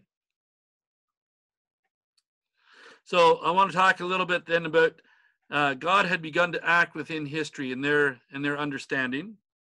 So the sect looked forward to the eschaton, the eschaton. Now that's going to become an important word, the eschaton. Eschaton is last things, last things. So the word eschaton means last things. Uh, they looked forward to the eschaton when God would act within history to redeem his people and establish them as his people and restore a new temple, a new temple. The Essenes believed that they were the forerunners of all this. They even saw themselves as the new temple. Imagine, imagine, uh, the temple is where the presence of God is. And the Essenes would say the presence of God is not in Jerusalem. Why? Because the temple is corrupt in Jerusalem. Is the presence of God still uh, in um, uh, still occurring? They would say, of course, he, the presence of God is uh, occurring. Where? In us. We are the new temple. If you want to know where the presence of God is, you look to our group because that's where um, His presence is. That's what they would say. This is because the temple is where the God of Israel were currently met with his truly faithful people. And the Essenes, of course, thought that they were um, the only ones who were faithful. Now, also, they believed in predestination. Now, you've probably heard of that, that word, uh, predestination. Now, we have to understand predestination though in the way that they would have understood it. Uh, predestination uh, does not mean that they believed in a personal um, uh, predestination at the level of the individual. So their concept of predestination wasn't wasn't pertaining to um, the local individual. To to think of predestination in the way that they understood it in those terms would be to make a, a huge mistake. Uh, they didn't think of predestination in terms of uh, at the local level. Uh, rather, for the Essenes, predestination pertained to Israel as a whole. God has, has predestined Israel as a whole. He's, we're not talking about the individual here, we're talking about the whole. God has predestined uh, Israel as a whole, and Israel was the elect people of, of the one true God, a reality now describing the Essenes, because they were the true Israel. So we can't think of predestination in this sense at the, the individual level. Um, they perceived uh, predestination at a corporate level or a, a whole level. God has predestined Israel as a whole. And we are Israel. We are the true Israel. So we've been we've been predestined to be the true Israel. And God is going to act through us because we are the ones in whom um, his uh, his sovereign power is going to be uh, revealed. Now, the other important thing is that we're not talking about earning our salvation. That's not what they're about. Uh, they had a keen uh, they had a keen interest in angels, where the Sadducees dismissed the role of angels. The Essenes said, "No, no, we believe in angels." They they they were they had a keen interest in angels, but they did not commit. They did not perceive their commitment to purity and holiness as earning them salvation or earning them a membership within um, uh, within the people of God. That's not how they understood it. Uh, they did practice purity laws and they did strive to be holy, at least in the way that they understood it. They were doing this to express their commitment to God. They weren't earning their salvation, they were expressing their commitment uh, to God. They also believed in that the soul was immortal, uh, that the soul did not die. Uh, they believed they did believe in a um, earthly body that was corruptible. So this earthly body is corruptible, and it is immortal. And um, so, in this sense, their their their view is is similar to the view that we read about in First Corinthians 15, where Paul is talking about the importance of the resurrected uh, body. But uh, the difference is that, um, of course, in Paul, he's talking about the resurrected body that we will receive, a resurrected body that is the same as the resurrected body of Jesus. We, uh, so if you look at Philippians chapter uh, 3, uh, 20 to 21, for an example, uh, you, you'll, you'll read about that. And so, in conclusion, although the Essenes were a small sect within Judaism, their views are helpful to compare to the teaching of the New Testament. For example, they believed in inaugurated. Inaugurated means begin. They believed in inaugurated eschatology, and so does the New Testament. They also believed in the necessity of anointed uh, priest and anointed king but of course, they they did not hold that these were the same same people. In contrast, as the long-awaited Messiah, Jesus is in fact both priest and king. So is Jesus both, is he our high priest? Absolutely. Is he our king? Absolutely. Uh, he is he is the anointed high priest. We read about that in the book of Hebrews. Uh, he is the one who entered into the, the Holy of Holies uh, to offer the Lamb to atone for our sins. But of course, astonishingly, uh, not only did he enter into the Holy of Holies to uh, offer uh, a, a lamb as the atoning sacrifice, he was the lamb. He was the lamb. So not only is he the high priest who offers the lamb, he is the lamb that the that the high priest offers. That is there there there's a few sermons in that, definitely, without question. Um, also, the Essenes removed themselves from their society.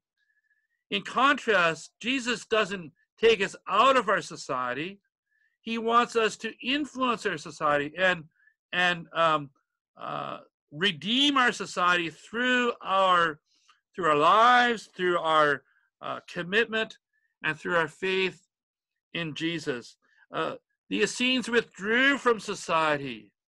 Uh, as those who follow Jesus, we're not to withdraw from society, we're to be different from society, but we're not to withdraw from society. We are to um, try to influence society. So, with that, the vision of, of Jesus is a lot more graceful, uh, a lot more heart, uh, hopeful, and for that, I think we should all uh, rejoice. Any any questions about anything that I've I've talked about? Any questions at all? John, any questions? The Essenes. Uh, uh, I actually find them fascinating. The uh, and I think some of the seeds of what we read about in the New Testament, we can see some of the seeds uh, in the Essenes. Of course, they had a they had an incomplete and oftentimes a, a very distorted understanding of certain things. But you can I can see where some of those ideas, not all of them, some of them were horrible ideas, but some of them were sort of the the forerunners of things that we read about in the New Testament. Um, and and there there there you can see the the influence of those ideas i think uh in in the ways that i that i mentioned any, any questions yeah go ahead I, I have uh, something I wanted to find out. Huh? yes There, there- there's a group that uh, we're kind of, I'm not seeing where we're touching on them, the Zealots. yes yes the zealots now um we, we are not touching on them but i wish we could armstrong they are also fascinating. You've got to the Mm. zealots the zealots were they absolutely hated the romans. And uh, every chance we get to to uh, to kill a roman yeah we will we will. They were extremely violent and they were extremely committed to the cause. Um, it's quite possible. In fact I, I would say almost almost certain in luke's gospel you have jesus hanging on the cross and you have two thieves on either side.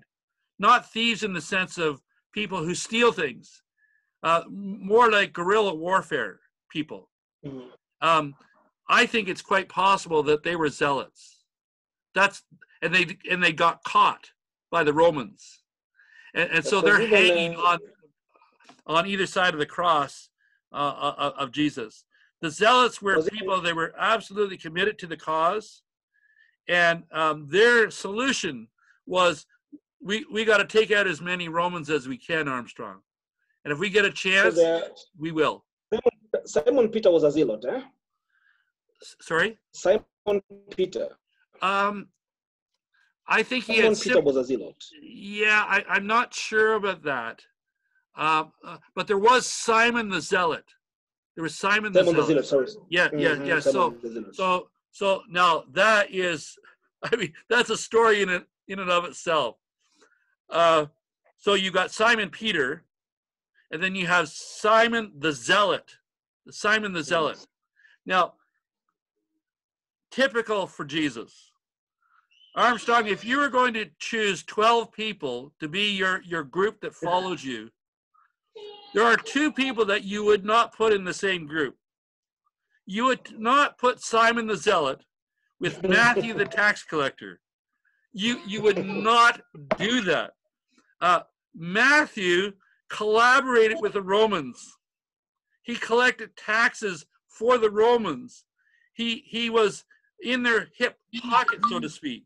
Simon the Zealot, he hates the Romans, and he hates everyone who uh, works for the for the Romans. Would Simon the Zealot despise Matthew the tax collector? Absolutely. Absolutely. So, and Jesus has him in the same group.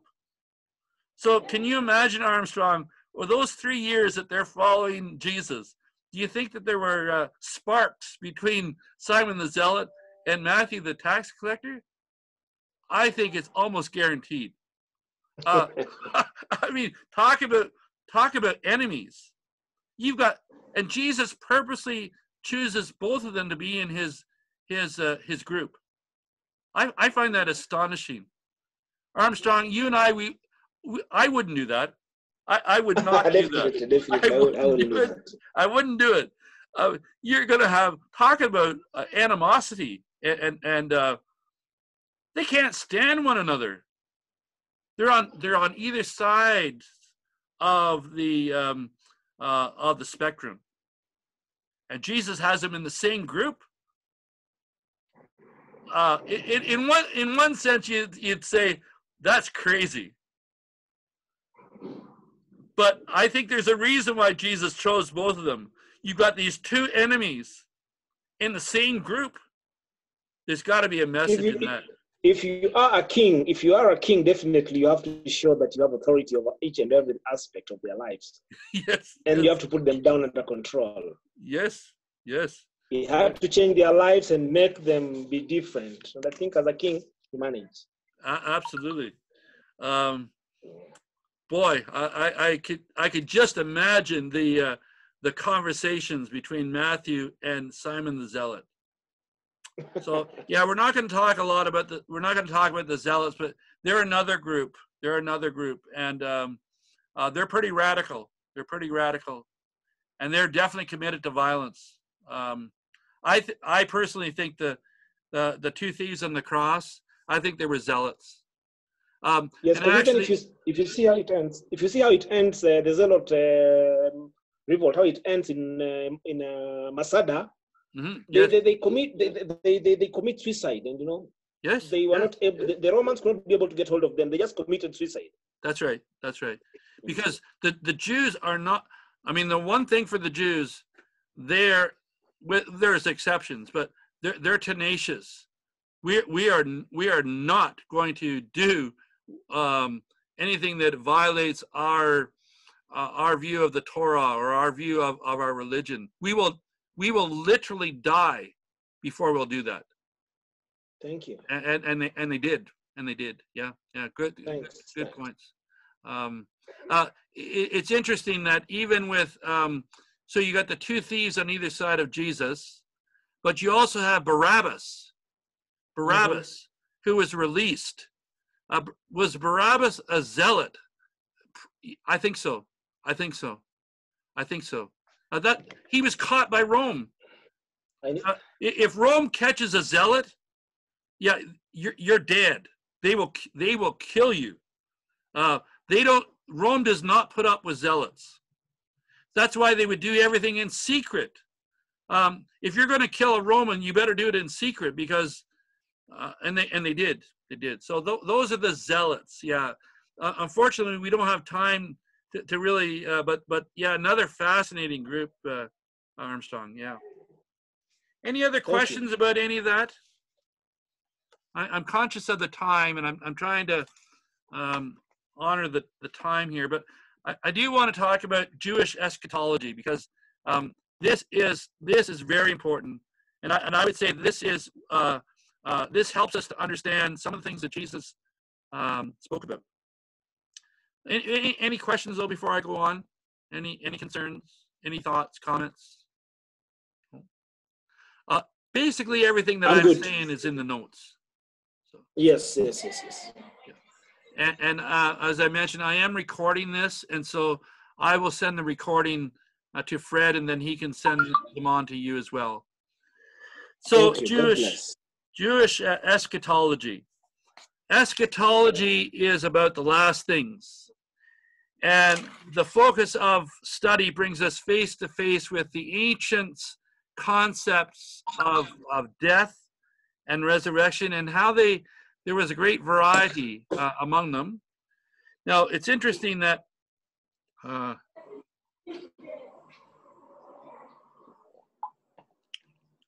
I have a couple of quotes here and hopefully it'll show you the, the range of, of understanding of death and resurrection.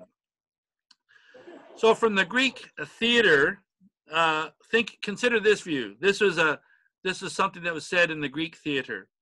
Once a man has died, and and the dust has soaked up his blood, there is that should be no. There is no resurrection. No resurrection. This view considers death to be permanent, and resurrection is a non-starter. So for the Greek-minded person, uh, when you die, that's it. It's permanent, and there is no resurrection. Resurrection is a non non-starter. Now, in contrast, consider this quote. While the uh, Pyra was burning, it is said that a cloud passed under Hercules and with a peal of thunder wafted him up to heaven. That's a quote. This view of death shaped the Roman tradition that emperors were received at death into heaven and translated into celestial beings, uh, uh, divinized, if not fully divine. So heroes get transported into heaven without dying. That's a that's a Roman view. So if you're if you're an emperor and if you're a hero, uh, you don't actually die. You just get transferred into into heaven. Now, consider one more of the ancient views. This is a, a, a typical Jewish understanding. Consider this. You cursed wretch, you dismiss us from this present life, but the King of the universe will raise us up to an everlasting renewal of life because we have died for his laws. This is a quote from uh, Second Maccabees 7 9 and it was uttered by a Jewish youth who refused to eat the unclean food of the pagans during the Maccabean uh, revolt. So picture this young uh, Jewish youth, and he's being forced to unclean food by uh, Antiochus and his in his soldiers. And this young uh, Jewish youth says, "There is not a chance. I am not eating that food." And in response, he says, You cursed wretch. He's talking to the soldier that's going to kill him. You, you, you cursed wretch.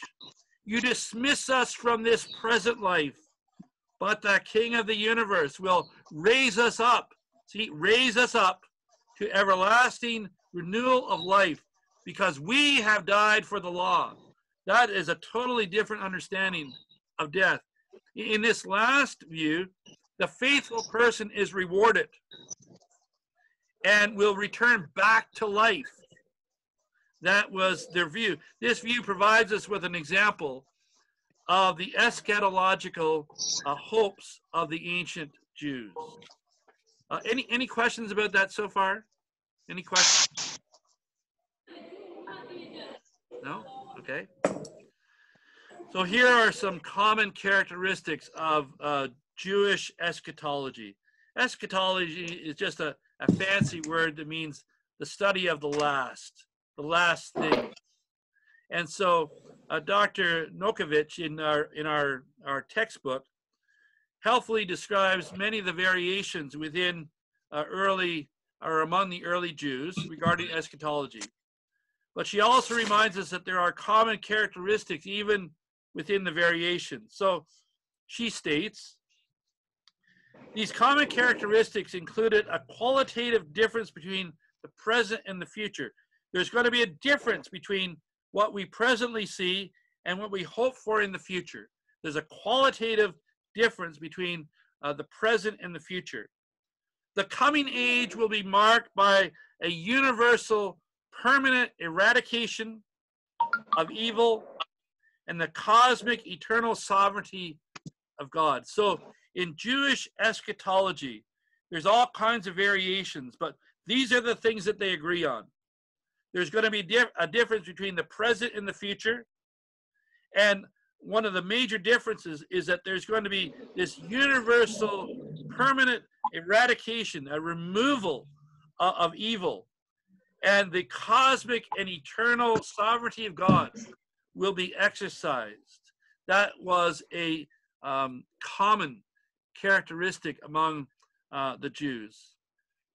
In the eschatology of the Jews, uh, major changes were forthcoming.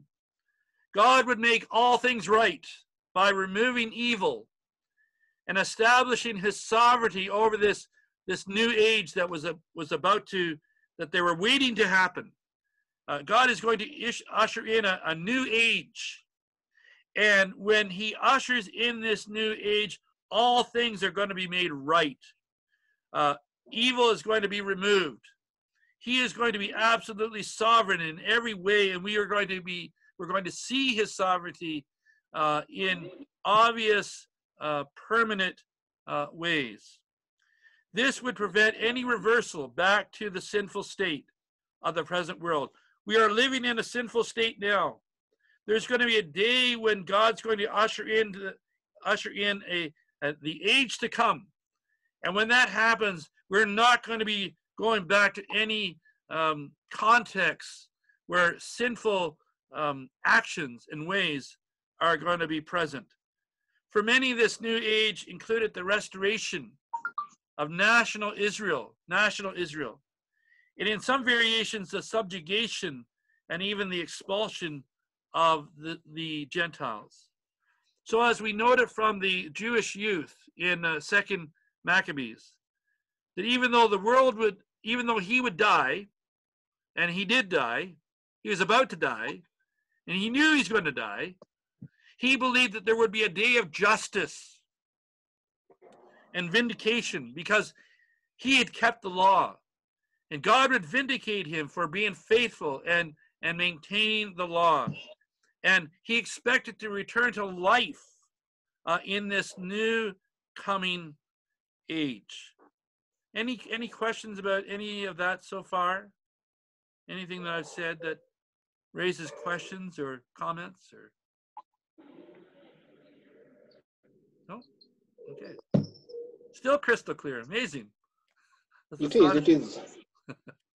Question? Just take it home. Sorry? Just just take it home. Okay. Okay. So um, the uh, I want to talk about the general resurrection. So the, the Jews believed in life after death for those who remain committed to God. If, if you remain committed to God, there is life after death for you in, in the Jewish understanding. But in the ancient world, and this is this is this is really important, and this is where there's a, a real difference between uh, more I would consider um, uh, evangelical view of, of, of the scriptures and, and the resurrection in comparison uh, to a more liberal understanding of the resurrection. In, uh, this is very important.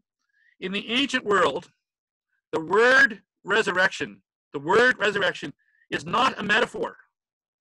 And it doesn't merely describe the spiritual. Uh, that is not what the word meant in the ancient world. Uh, in the ancient world, when they used the word resurrection, they meant bodily resurrection. It involved the, the physical body in some fashion. So, for example, uh, we see this reflected in the, the Greek uh, theater play, the quote that I mentioned earlier. They dismissed the resurrection. The resurrection was a non starter for them. But it doesn't mean that the Greeks and the other cultures within the ancient world didn't believe in some form of afterlife. They did. So they, they believed that there was going to be an afterlife, but it did not involve any form of resurrection, and it certainly didn't involve um, the a bodily resurrection. That that's not how they understood it.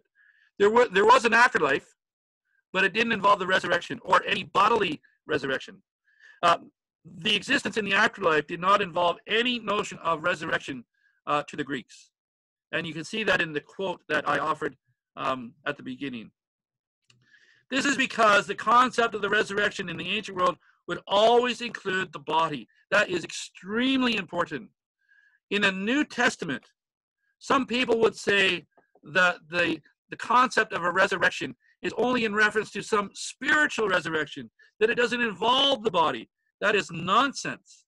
It always involved the body because the word resurrection always was associated with, with the body in the ancient world there's no examples of the word resurrection being used in any fashion other than in reference to the body in, in the ancient world.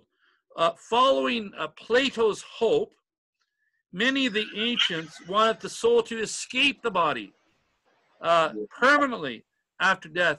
They thought that the body was, was, was bad. They thought that the soul was entrapped in the body. We don't want to retain any form of the body. We want to get rid of the body. And so uh, there were as many within the ancient world that held to this hope that was um, articulated famously by Plato, that the the we don't want the body to be uh, resurrected. We want the soul to escape the body. But to um, in, in their mind, desiring to include the body in the afterlife, this is the Greek understanding, uh, to include the body in the afterlife life to them was sheer nonsense. That is just a non-starter. That's not what they that's not what they believed, and that's not what they wanted. Therefore, a non-bodily resurrection in the eschaton was inconceivable. Um, uh, therefore, a, a, non-bodily resurrection in the ex, the eschaton was inconceivable. Um, that should have been, I said non-bodily. It should be bodily. For a Greek-minded person, uh, it shouldn't it shouldn't say non-bodily. It should say therefore a bodily resurrection in the eschaton was inconceivable, uh, inconceivable to many of the ancients. Now, in contrast, except for the Sadducees, we saw that uh, uh a few moments ago. They didn't believe, of course, in the resurrection. But except for the Sadducees, uh, the Pharisees, uh, and the Essenes, they all believed in a, a bodily resurrection of some form. As Dr. Wright says, resurrection was never simply a way of speaking about life after death. It was one particular story that was told about the dead, a story in which the present state of those who had died would be replaced by a future state in which they would be alive once more. He says resurrection was more specifically uh, not the redefinition or redescription of death, a way of giving a positive interpretation to the fact that the breath and blood of a human body had ceased to function, leading quickly to corruption and decay, but the reversal or undoing or defeat of death, restoring to some kind of bodily life. That's the point. That's the point. To some kind of bodily life, those who had passed through the first stage. And the italics are his. In other words, in a Jewish understanding, in their eschatological hope, the resurrection always involved the body in some fashion because the, the word resurrection was always associated with the body. A non bodily resurrection was inconceivable to the Jews, and it was undesirable uh, for uh, the Greeks and the Romans. So the resurrection involved the restoration of the body in the future after one dies. However, the Jews believed this eschatological hope of resurrection would happen at the end of history. That's important. At the end of history, when God establishes the coming age. Now we see this understanding of the resurrection and the eschatological hope with Martha uh, in her interaction with Jesus in John chapter 11. This is one of my my favorite stories. I I I I, I sympathize with Martha. Uh, her brother has just died, Lazarus, and he's been dead for four days. And Jesus seems to diddle dolly uh, getting to Jerusalem or, or to Bethany. He, he, uh, he seems to take his time. It takes four days to get there. And Martha sees Jesus coming and she runs out to greet him. Now, that was unheard of. A woman in mourning was not supposed to run out and, and, and greet the, uh, the, the, coming um, teacher, but she does. She's distraught. Of course, she's distraught. Her brother has just died. And, and she knows that if, if Jesus had been there, um, he wouldn't have died. And I think that Martha was a little ticked off at, at Jesus because he wasn't there.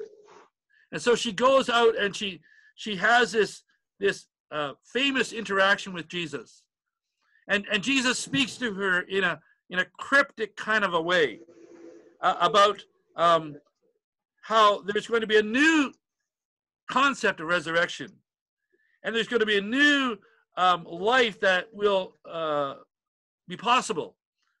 And it's all, of course, because of him. So, for example, uh, this is the part that I find astonishing.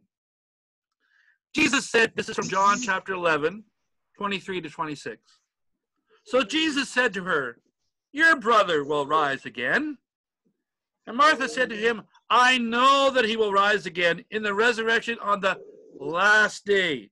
Did she believe in a general resurrection? Of course. Of course. I know that he will rise again in the resurrection on the last day. And Jesus said to her, I am the resurrection and the life. Whoever believes in me, though he die, yet shall he live. And everyone who believe, who lives and believes in me shall never die. And then she asked Martha, Do you believe this? Now, that is a cryptic way of describing what is about to occur uh, through the resurrection, but in the person of Jesus. He's redefining uh, resurrection, and he's stating that this resurrection that we, you, you hope for is found in me. I am the resurrection, and I am the one who will give you the new life that, that you need.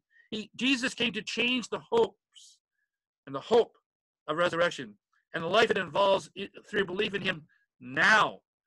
This in turn radically changes how you uh, how you and I should both live in the present. Uh, read Colossians chapter 3. Since you've been raised with Christ, set your mind on things above. That's present tense. Since you've been raised with Christ, because you've been raised with Christ. So, so Emily had in, in some some uh, amazing way. Ha, have you been raised with Christ? Absolutely. In the present, you are raised with Christ right now. Uh, since you've been raised with Christ, set your mind on things above. Now, there's going to be a day when you're going to experience all the, the fullness and the, the culmination of what that means. But, but you've been raised with Christ as we speak. Since you've been raised with Christ, that's present tense. That's all because of what Jesus uh, did and what he offers. Now, here's the important part. The Jews thought that the eschaton was going to happen at the end of time, at the end of uh, the uh, of everything, at the end of history. So they thought that there was going to be a resurrection, and those that were committed to God, they were going to be raised bodily to uh, some uh, new life bodily. But that was going to happen at the end of history. Uh, but Jesus said, comes along and uh, the, the resurrection begins in the middle of history, not at the end, in the middle. And it did. It did. So Paul argues, for example, in 1 Corinthians 15, that the resurrection of Jesus Christ is the uh, the absolute crux of our faith. If you remove the resurrection and the importance of the resurrection of Jesus, you've just cut the heart out of our faith. The resurrection is everything. Everything stands and falls on the resurrection. The cross is vital, but the cross um, gets its power and its significance because of the resurrection. God vindicated Jesus on the cross. How? By raising him from the dead. The resurrection is the crux of our faith. And because Jesus was raised on the third day bodily, he has launched the, the new life, the new creation now. The new, the new age has already started. And it will be brought to completion when he returns. But, but it's already started. The new age has started now. The eschaton did not happen at the end of history. The eschaton has begun in the middle of history, in the person and through the, the resurrection of Jesus. Uh, that is astonishing. And that is something that as Christians, uh, we, we hold to. That is, that is absolutely crucial to our understanding. Uh, it began, uh, and, and, and the surprising thing is that Jesus uh, began this, uh, he was the Messiah. The word Christ means Messiah. he was the one who um, inaugurated or, or, or, or began this new life, the, the new age, the, the, the new beginning has already started. But he was the, the a suffering servant uh, that initiated that and made that happen. That's an oxymoron. It's an oxymoron for the Jews. Uh, They were waiting for a Messiah. But the Messiah does not suffer. You don't have a, a, a suffering Messiah. The Messiah conquers. Not, he doesn't suffer. And, and uh, it was as bewildering to them as it is still to many of us. Uh, you have someone who came and who who died, and he is the one who established the eschaton, the end. The end of history has already started, has already uh, begun in the middle of history. That, that, that's that's amazing. And it, and it was it, it was accomplished by a suffering servant. Isaiah 53. So as Dr. Novakovic uh, clearly shows, uh, not all the eschatological hopes of the Jews included a Messiah. Some some did, uh, some didn't.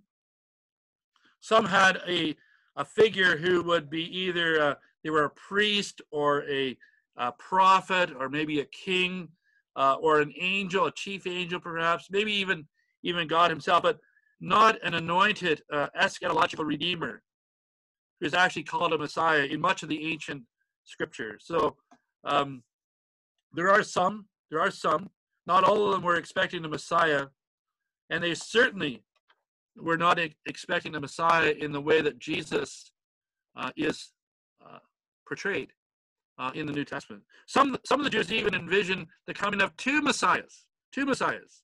So there's going to be a priest Messiah, uh, a, a Messiah of Aaron. So someone asked earlier about, uh, you know, was the high priest um, uh, from the lineage of, of Aaron? Uh, some of the the group said, absolutely, absolutely. That's that's what that's what uh, validates whether a person can be a high priest. But this high priest is going to be the Messiah. He's going to be the one who liberates us, uh, and he's going to be a priest. Uh, some of them thought that there was going to be two. There was going to be a priest Messiah, and there was going to be a king Messiah. so a priest so there's going to be two messiahs. One is a priest and one is a king. And uh, the king would be the, the messiah of, of, of Israel. But none of the uh, none of the Jewish uh, hopes for the eschatological um, uh, Messiah uh, ever included a suffering servant. That is just a that that's that's crazy. That's crazy. Uh, messiahs don't suffer. Messiahs conquer in the minds of the Jews, uh, we want a conquering Messiah. We don't want a suffering Messiah, a suffering servant. That's not what we need. We need a, a, a military, uh, a conquering Messiah. A suffering servant suggests weakness and an inability to conquer Israel's enemies. A, a suffering servant displays the, the opposite of strength, a quality many believed the Messiah requires. But Jesus is the Messiah. He is the suffering servant as depicted in Isaiah 53. This Messiah suffered because he allowed the wrath of man and the evil schemes of, of, of man to be unleashed upon him and even kill him. He, he did this so that death could crush him, not because of his iniquities, but because of our iniquities. He did all of this to allow God to condemn our sins, our sins that God placed upon him, not his sins, our sins. The wages of sin is death. Whose wages of sin did Jesus die for? He did not die for the wages of his own sin. He died for the wages of your sin and my sin. He allowed, he, he welcomed God to place our sins upon himself and he suffered in our place. And why did he do that? He did it to defeat our enemy. He did it to receive the wages of sin, but not his sin, but our sin, as I mentioned. He did this to defeat our greatest enemy, and our greatest enemy is death. Uh, he defeated our enemy. He, he, this uh, a defeat that was stamped with victory. How do we know that Jesus conquered our greatest enemy? How do we know that Jesus is the ultimate Messiah that we need? How do we know that he crushed, he was crushed and defeated our enemies? The reason that we can say that with absolute confidence is because of the resurrection in the empty tomb. He was a suffering servant, and he suffered by allowing my sin and your sin to crush him. And he did all of that because of his grace and mercy, and of course, his love. And so when we come to Jesus, his resurrection means that the, the life of the age to come has begun for those who have put their faith in, in Jesus. Uh, this new life in the present extends on the other side of the grave. However, this hope demands a bodily resurrection where we live in the new heaven and the new earth, living in this, this new creation with a resurrected body is the aim. That's the goal, is to live in this transformed new creation with resurrected bodies, uh, bodies that look like the body of, of, the resurrected Jesus. That's the aim and that's the goal.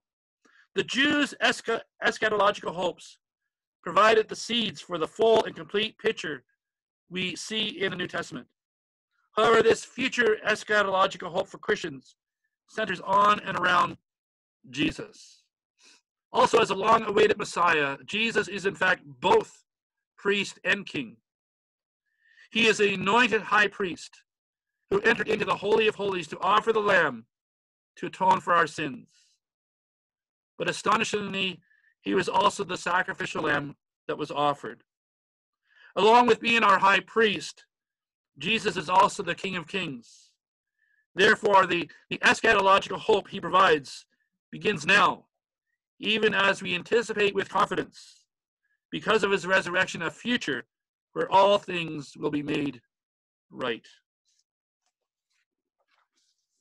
Are there any questions?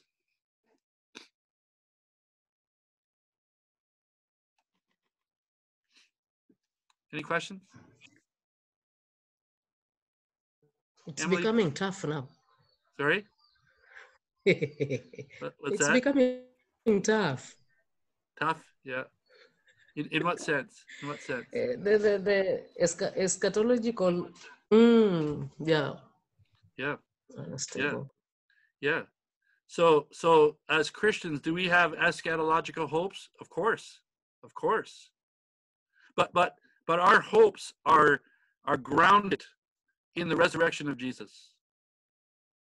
Ev- Everything, uh, Paul, Paul was absolutely correct in 1 Corinthians 15.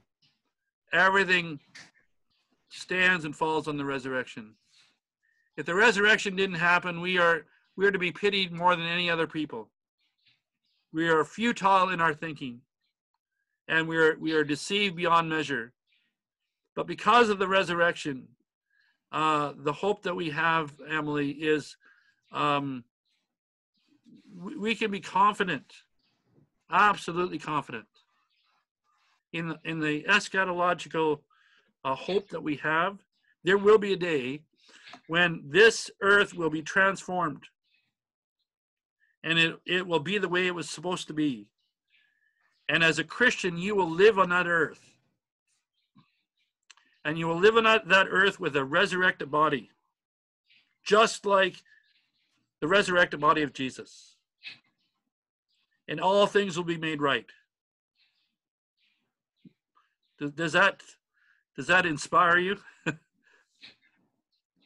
yeah. And the question is, Yes.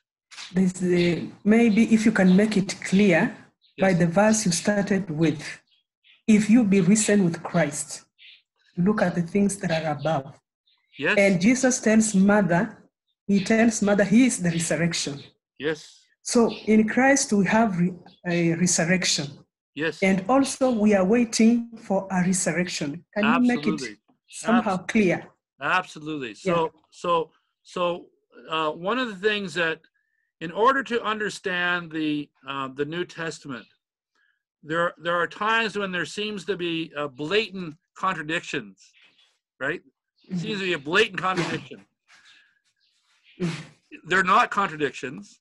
One one of the things that we we need to uh, um, appreciate, Rosabella, is uh, there's a little phrase you don't you don't find this phrase in the New Testament, but it's a phrase that will help put everything into perspective.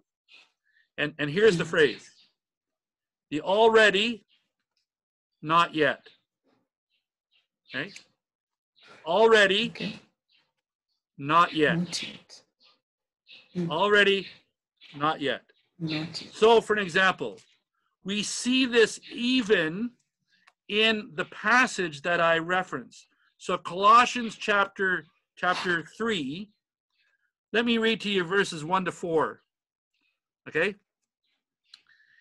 If then you've been raised with Christ, it's I, I like the NIV here. I'm I'm reading from the ESV, but the NIV I think is even better. Since you've been raised with Christ if if then you've been raised with Christ, that's present tense. Present tense. That's the already. So he's writing to Christians at Colossae, and he's saying to Christians, since you've been raised with Christ, that's present tense. So there's the already. Since you've been raised with Christ, seek the things that are above. And what are those things? Well, it, it's where is above? Well, it's where Christ is seated at the right hand of God. Set your mind. So, so how do you um, how do you seek the things above? You seek the things above by setting your minds on things above. It's all about the mind. Set your mind on things above, not on things that are are on earth. There's the the already. You're you're you're already raised with Christ. Now seek the things that are above, i.e., set your mind on things above. For you have died He's writing. He's writing to Christians. The people that he's writing to haven't died. But but he's saying, yes, you have. Yes, you have. You've died to the old way. Died to the old way. For you have died, and your life is hidden uh, with Christ in God. When Christ, who is your life, appears, there's the not yet. There's the not yet. When Christ, who is your life, appears, then you will also appear with him in glory. You have the already, the not yet. You're already raised with Christ. So, so Rosabella, as, as a as a uh, someone who has put their faith in Jesus Christ, uh, are you um, are you um, are you raised with Christ right now? Absolutely, absolutely. That, that's that's present tense. Mhm. Since you've been raised with Christ, Yes. that's the already Mhm.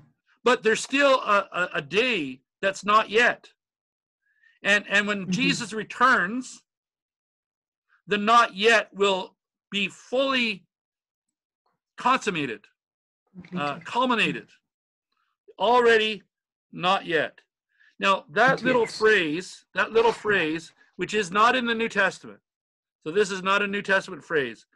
But that little phrase uh, rosabella will will help you to understand the new testament. Already not yet. Uh, the kingdom of god is it already here? Absolutely. It's already but it's not yet. Uh, we don't see the kingdom of god in all of its fullness but is it already here? Absolutely. Every time god's will is done uh, Mhm. the kingdom is is present. You already not yet. Um, the same with um, uh, you are already righteous. So rosabella when you put your faith in jesus christ uh, were you declared righteous? Absolutely. You're already righteous. Yeah. but not but not yet Mhm. complete. Because we still struggle with um, our, our our fleshly natures and all those kinds of things. The already not yet is Mhm. what makes sense of the new testament. Sometimes people read these things and think that uh, the apostle paul was contradicting himself. He was not contradicting Mhm. himself. He understood that that in principle all these things have already started. And there will be a day when they will be brought to uh, completion. So has a new life already begun for those who are in christ? Absolutely. Has it been completely um, uh, fulfilled in all of its fullness? No not yet. Already. Not yet. Um, that's why he says in second corinthians um, you are new creatures in christ jesus. So so rosabella right now you are a new creature in christ jesus. Yeah. that's what it says. Yes. now Mhm.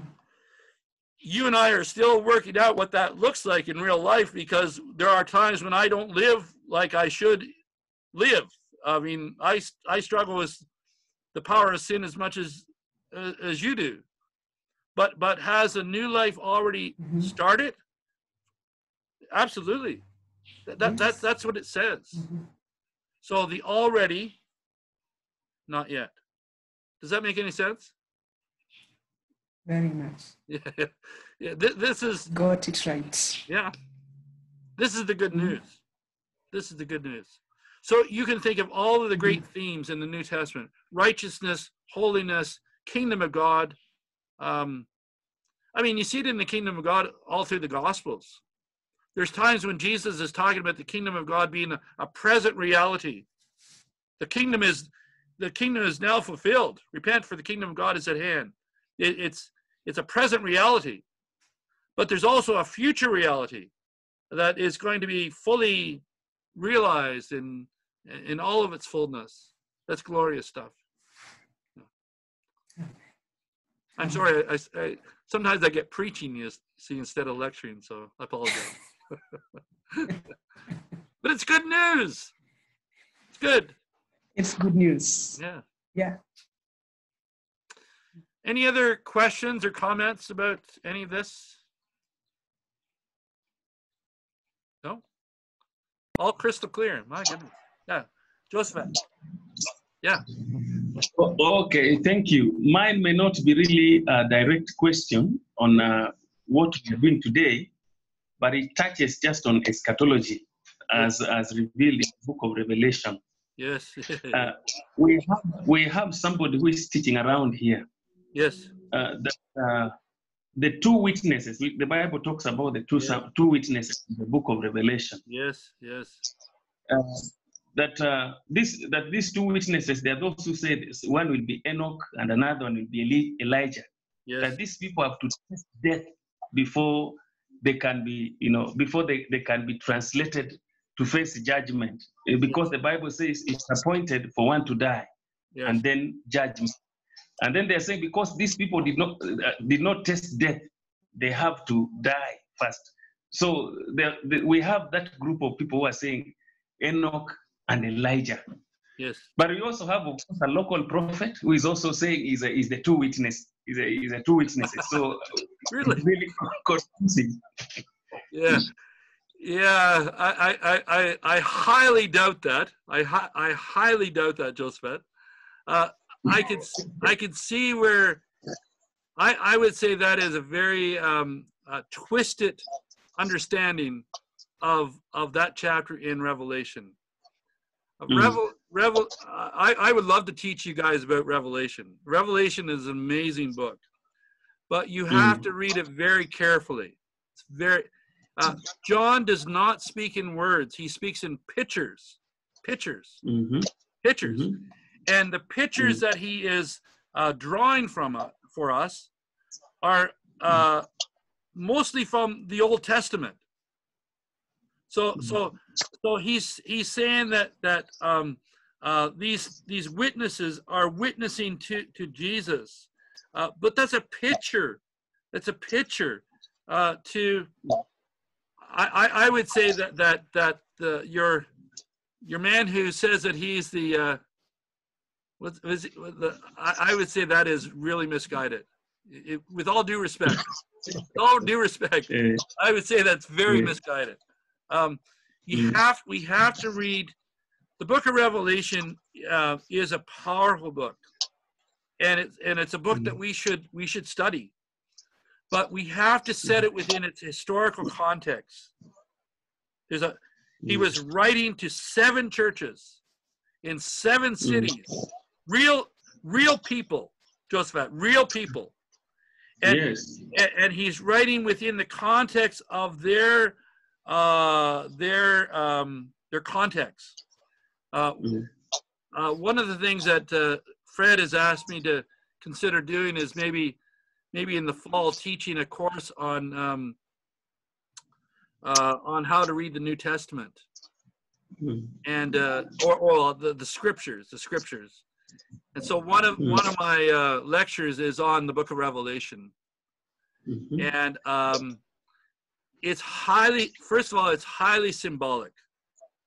There's lots of symbols Mhm. in the Book of Revelation, and Mhm. so to take those to take those uh, symbols and and and pictures and apply them to directly to a a current or or, or um, a current person is highly questionable. Highly Mhm. questionable. So I don't know if I've answered your question or not, but uh, uh, I would. Well, put it this way: um, Mhm. the, the man who says that he is the uh, uh, the the witness, I would. It's I a would. two in one. Sorry. In is two witnesses in one. Yes, two witnesses in one. Mm. I would be highly, highly suspicious. Highly Hmm. suspicious. Does he point people to Jesus? Yes, Yes. he talks about Jesus so much. Yes. but and, does, believe and does he encourage? Does he encourage people to to live their lives to, for the glory of, of of Jesus? Yeah, he asks people to repent. Okay. And and, Mm. and uh, does he um, uh, does he uh, encourage meekness? What about love? Not What about Uh, love? no, love, yes, but you know, uh, I think it is just a question of uh, maybe somebody just misses a mark somewhere Mhm. Mhm. because uh, he strongly believes and actually teaches his ad, uh, adherents that uh, he will go to Jerusalem and die. He will be, you know, he will be the two witnesses. So he says is is is one, but in two or something like that. Yes, yes. Two, no, two in one or something like that. I I would um, I would be highly suspicious, to be honest. Um, I would I would want to examine the fruit. You'll know the tree by its fruit. Mhm. Uh, and, and I don't know this man. I I, I I I'm I'm in no position to uh, to evaluate the fruit, but I would be highly suspicious. Highly suspicious. Mhm. Um, Mhm. He's just a world figure. He preaches even he comes even uh, he goes to US, he goes to many of these countries. yes. Maybe Um, maybe you have some knowledge. He's a prophet. He's, Well, and I, and I, I and I believe that there are prophets. So I'm not just.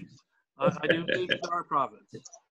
Um, but, pro, but prophets, uh, prophets can be, um, uh, they can be misguided as well. Mhm. So Mhm. that's a. I, I, I, I'm interested. I, I would like to do some, uh, uh, learn more about him. Uh, maybe, maybe, maybe you could se- maybe you could send me his name, uh, Josephat. I, I would be interested in learning about him. And uh, Yeah, Yeah. yeah, I'll send you. Yeah, it's okay. I'll ask I'll I'll ask Armstrong to do it. yes, okay, all right. yeah. I, I would be interested. Thank you. Yes, but I Thank you. know, I know what you're talking about, so it's okay. Yes. Any any other questions uh, for me? No, no. Crystal clear. That's good. That's good. We okay. All right, all right. Well, I'll leave it at that then. And um, if you, um, uh, so I guess we're meeting. I guess we're we're, we're going to be doing a new class next next week. Uh, Same and time. I will, I will get the information out to you. Um, is there any questions about the assignments? Any questions?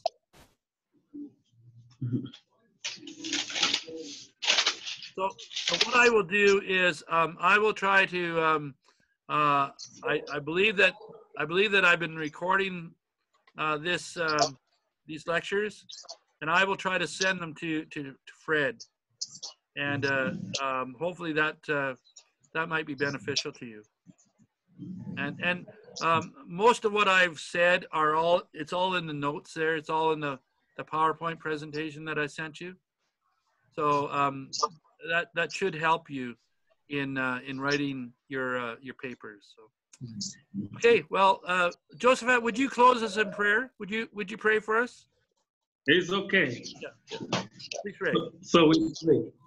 Uh, everlasting Father, in the name of Jesus, we give you all the praise, all the glory, and all the honor. We thank you, Father, for the lesson that you have had today. We thank you for our professor. We thank you for the knowledge that you have given unto him.